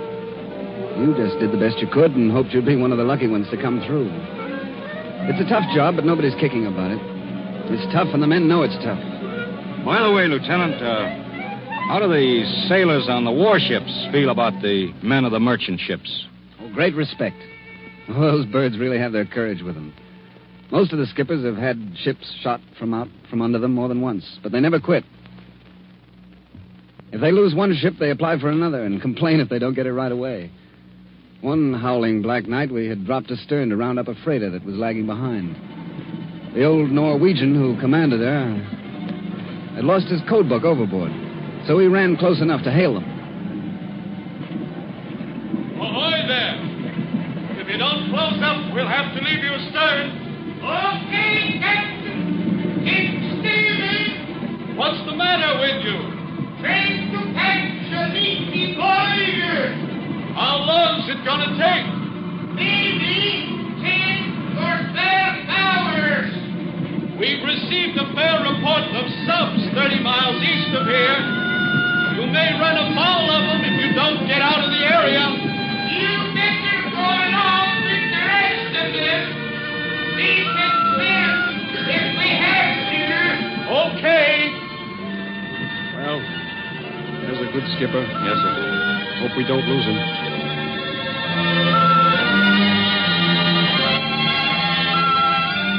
You went on and left him? We had to. What happened to him? I don't know. I never heard. But mind you, these are not exactly usual happenings. I've I've known many nights when we were running along on a sea so smooth you could almost hear the porpoises breathing as they rose alongside. Well, there'd be no lights, of course, and, and the officers would stand using their high-powered night glasses in the effort to see all the ships in the convoy and be sure they were in position.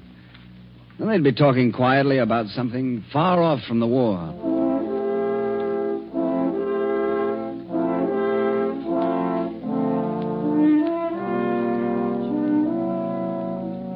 I that game. I was out west. Speck was the best army end I ever saw. Uh-huh. Never had much of a chance in any game he played in. Steele 157. Coming to 157, sir. He only played three years. Got a little behind in math and had to bone hard to get a commission. Look out there. Aye, aye, sir. Can you see the Paul Jones? No, sir, I haven't seen him for ten minutes. Very well. Well, then he had to bone up to pass his mid years. He's with the tank corps now. Talker, ask fire control if they've seen the Paul Jones. I said. Fire control, aye, aye. Can you see the Paul Jones? I think she's ahead the Oriental, sir. Just a little abaft that big tanker. What year was that last big game of his? Mm, 34. Yeah, it was a swell team. Last good line they had. Last of a lot of good things. You remember the Harvard game when Call Barry... message from squadron commander, sir. Three subs reported well ahead and on the bow of convoy. We're picking up depth charges on the sound detector. Forward, look out there. Bridge, aye, aye. Did you see gunfire? Yes, sir. Dead ahead. Very faint. Sound general quarters. Aye, aye, sir. Bugler.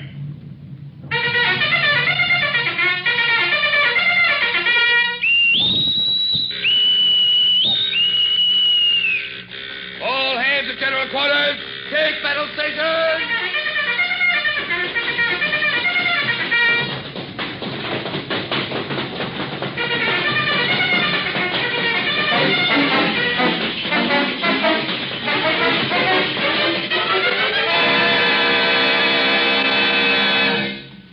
Sometimes we stood waiting at our stations for hours and nothing happened. Sometimes too much happened. The sinking of a ship is something you're not likely to forget, try as you like.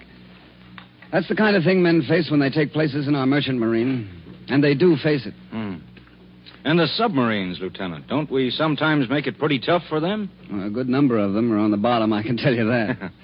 I got a story of a submarine kill straight from a friend of mine, a Coast Guardsman. You want to hear it? Sure. Well, I'll, I'll, tell it to you anyway. Seems he was uh, lookout on a patrol ship this winter coming down the coast from Labrador. He'd just come off duty one night, and uh, we were having some beer together in a little restaurant. Well, the service so long. In other words, nothing ever happened to us for six months, and then this happened. You won't believe it, and I couldn't blame you. Hurry up with that beer, will you, Sadie? I didn't believe it when I when it was there right in front of my eyes. You see, we had a jink ship. Always getting into trouble, huh? No, never getting near it.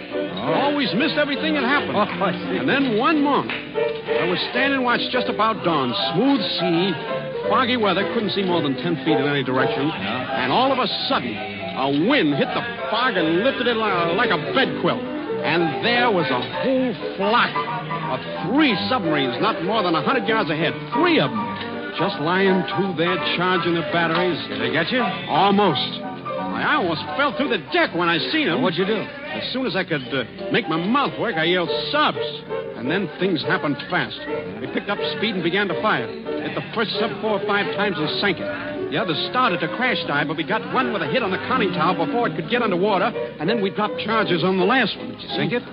Yep. Three subs in one morning. And we were the jinx ship nothing ever happened to. Only it happened. It happened to me. Yeah. Well, that uh, that was what Kipling would call good hunting. Good hunting, all right, only he should never have told you that story. Why? Well, the less talk, the less chance of the enemy finding out something it's anxious to know. Oh, I get it. Yeah. But there is one thing I'd uh, I'd like to ask you, Lieutenant, if I may. Go ahead. Well, the people of the United States aren't used to war. I mean, certainly they're not used to the long, hard pull of a war that begins badly and can be won only by holding on. And when they hear of Axis victories in the East, they hear of the back and forth struggle in Libya, hear of more sinkings in the Atlantic, and of German ships escaping to raid our shipping, some of them begin to wonder why we can't make a stand somewhere, why we can't concentrate forces and smash through on one ocean at least. Now, what, what answer can we give to that? Well, the answer is that we have to hold on in every ocean. And so far, we have no margin of ships or men or planes to waste. Oh. Our Navy and the British Navy are spread out thin these days over the high seas, attacking, defending, raiding, escorting, holding on stubbornly and desperately till the day comes when they can deal decisive blows. I see. From now on, our planes from. Uh, even now, right this minute, our planes and working from aircraft carriers are hitting the Japs hard in the South Pacific. Mm-hmm. The sky as well as the sea must be captured and held and made free. I suppose there, if there aren't enough planes or ships, then someone must decide where we can best use the ones we have. Is that right? That's right. must be a difficult decision sometimes. Oh, it's a series of difficult decisions. It means choosing to withdraw in one place so that you won't lose in another. Mm-hmm. It means letting men fight on unaided sometimes because you can't afford to send help. Because another position must be held, and you'd have to weaken it if that help was sent. Oh, you should hear the messages that come from all over the world. Yeah? Reporting progress, hoping for reinforcements, noting the arrival or loss of supplies. Memorial Nemo Tundra. Synchronized West Haven. Remark Sequoia Octagonal. 27th February, off Liberia. Line of Tripolitan reports shelled by small commerce raider. Escaped. 26 February, Galapagos Islands. Wreckage of Japanese bomber washed ashore on West Island. 27th, Iceland. Three subs reported 10 miles east of convoy 209. Routing convoy plan 1-4. Destroyers alert. 28, Key West. Enemy subs reported by fishermen passing Havana, west. Destroyer 550, notified. 28th, Pacific. Raid in Jaluit successful. Four vessels, five large bombers destroyed. Harbor installations burned. Lost three planes, three men. 28, off East Coast. Sighted sub, sank same. Well, that's the way it is now. The men who fight on our side are in some places outnumbered and lacking ships. Tell me, Lieutenant, is it your intention to make things look grim for its effect on morale, or is that just the way it works out? Well, anybody who still thinks it's going to be a pushover should just do a little of the pushing and see for himself. Mm-hmm. No, it's going to be a hard, long battle, and there's no fooling about that. Now, we know the Navy can take it and dish it out. But how does the uh, Navy feel about how the home front is taking it? Well, men on ships are too busy to worry about that. They're doing their job, and they're assuming everyone else is doing his. After a man's lived on a destroyer or a battle wagon or an aircraft carrier for a while, he can fight a battle along with the day's work. And traditions are strong in the Navy. Every sailor knows about John Paul Jones, and those who know their history remember what Captain Pearson testified at his court martial for losing the Serapis to John Paul Jones in the Revolution. Long before the close of the action, gentlemen, it became clearly evident that the American ship was dominated by a command will of the most unalterable resolution.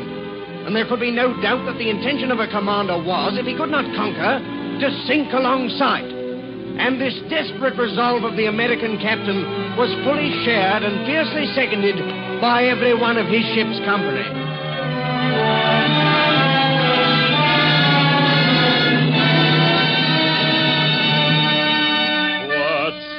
John Paul Jones on the brave Bonhomme Richard? What said that good fighting man lashed foe to foe?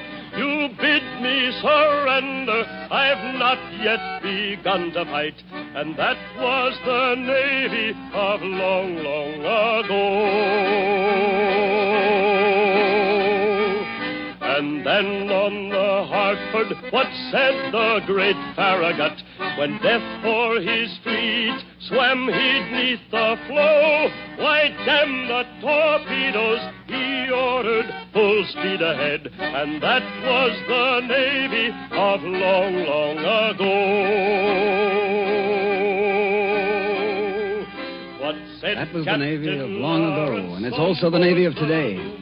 Such slogans and the actions they represent have become a tradition as deeply ingrained as the love for ship and service. In the great battle for the earth, which is now in the making, the greatest battle of all time for the greatest stakes, for the earth and all that's in it, including our lives, the Navy's not going to give less than everything it has. I've watched our men night after night, day after day, going about their work. To them, it's mostly just work and not over pleasant. They look forward to land as a child looks forward to holidays. In war, the sea is not exactly romantic to them. They've learned to live with it, somewhat as a tiger tamer lives with his tigers, but they don't trust it. Every time they make port, they consider it a battle won. But go about their business and work as callously as they may, they have a sense of importance to the world that gives a new sharpness to the eye, a new conviction to the spirit. They know that they are the men in the house of civilization. They defend that house. I hope you heard that, you boys out there. You boys on Blue Water. We know that we can depend on you, and we want you to know that you can depend on us. We had a lot of illusions about this war, but we're losing them fast. We thought we couldn't be attacked. We know now that if we once lost control of the seas, we couldn't hope to escape invasion. We thought we could win by merely helping our allies. We know now that we're at the middle of the quarrel, that we're enemy number one of the Axis and must fight it out with them, that we must outproduce and outthink and outguess and outshoot them on every sea. We know that our existence as a nation and as citizens depends on our doing our jobs at home as relentlessly, as tirelessly, as efficiently, as courageously as you do yours at sea. We know that we must face the production struggle with the same resolution which you show at your battle stations when the enemy line looms up over the horizon. And we pledge you, men of the Navy, your nation will not let you down.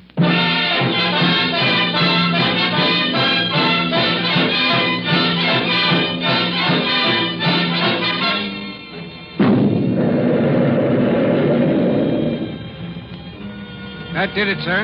Any oil yet? Well, Click astern, sir. Make action report. Looks like we got her. Well, Captain, that makes you boat number three. Come back to base course. Steer 180. Coming back to 180, sir.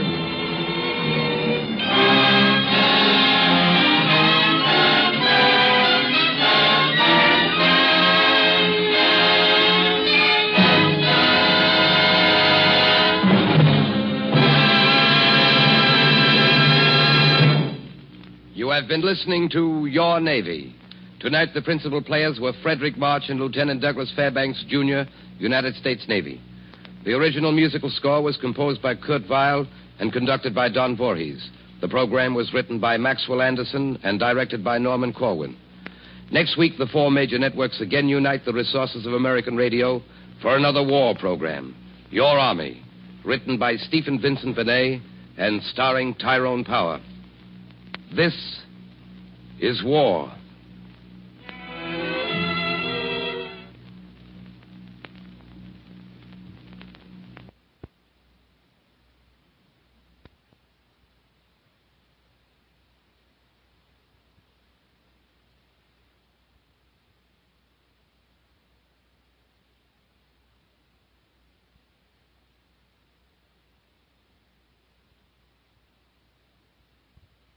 Weill and conducted by Don Voorhees. The program was written by Maxwell Anderson and directed by Norman Corwin. Next week, the four major networks again unite the resources of American radio for another war program, Your Army, written by Stephen Vincent Benet and starring Tyrone Power. This is war.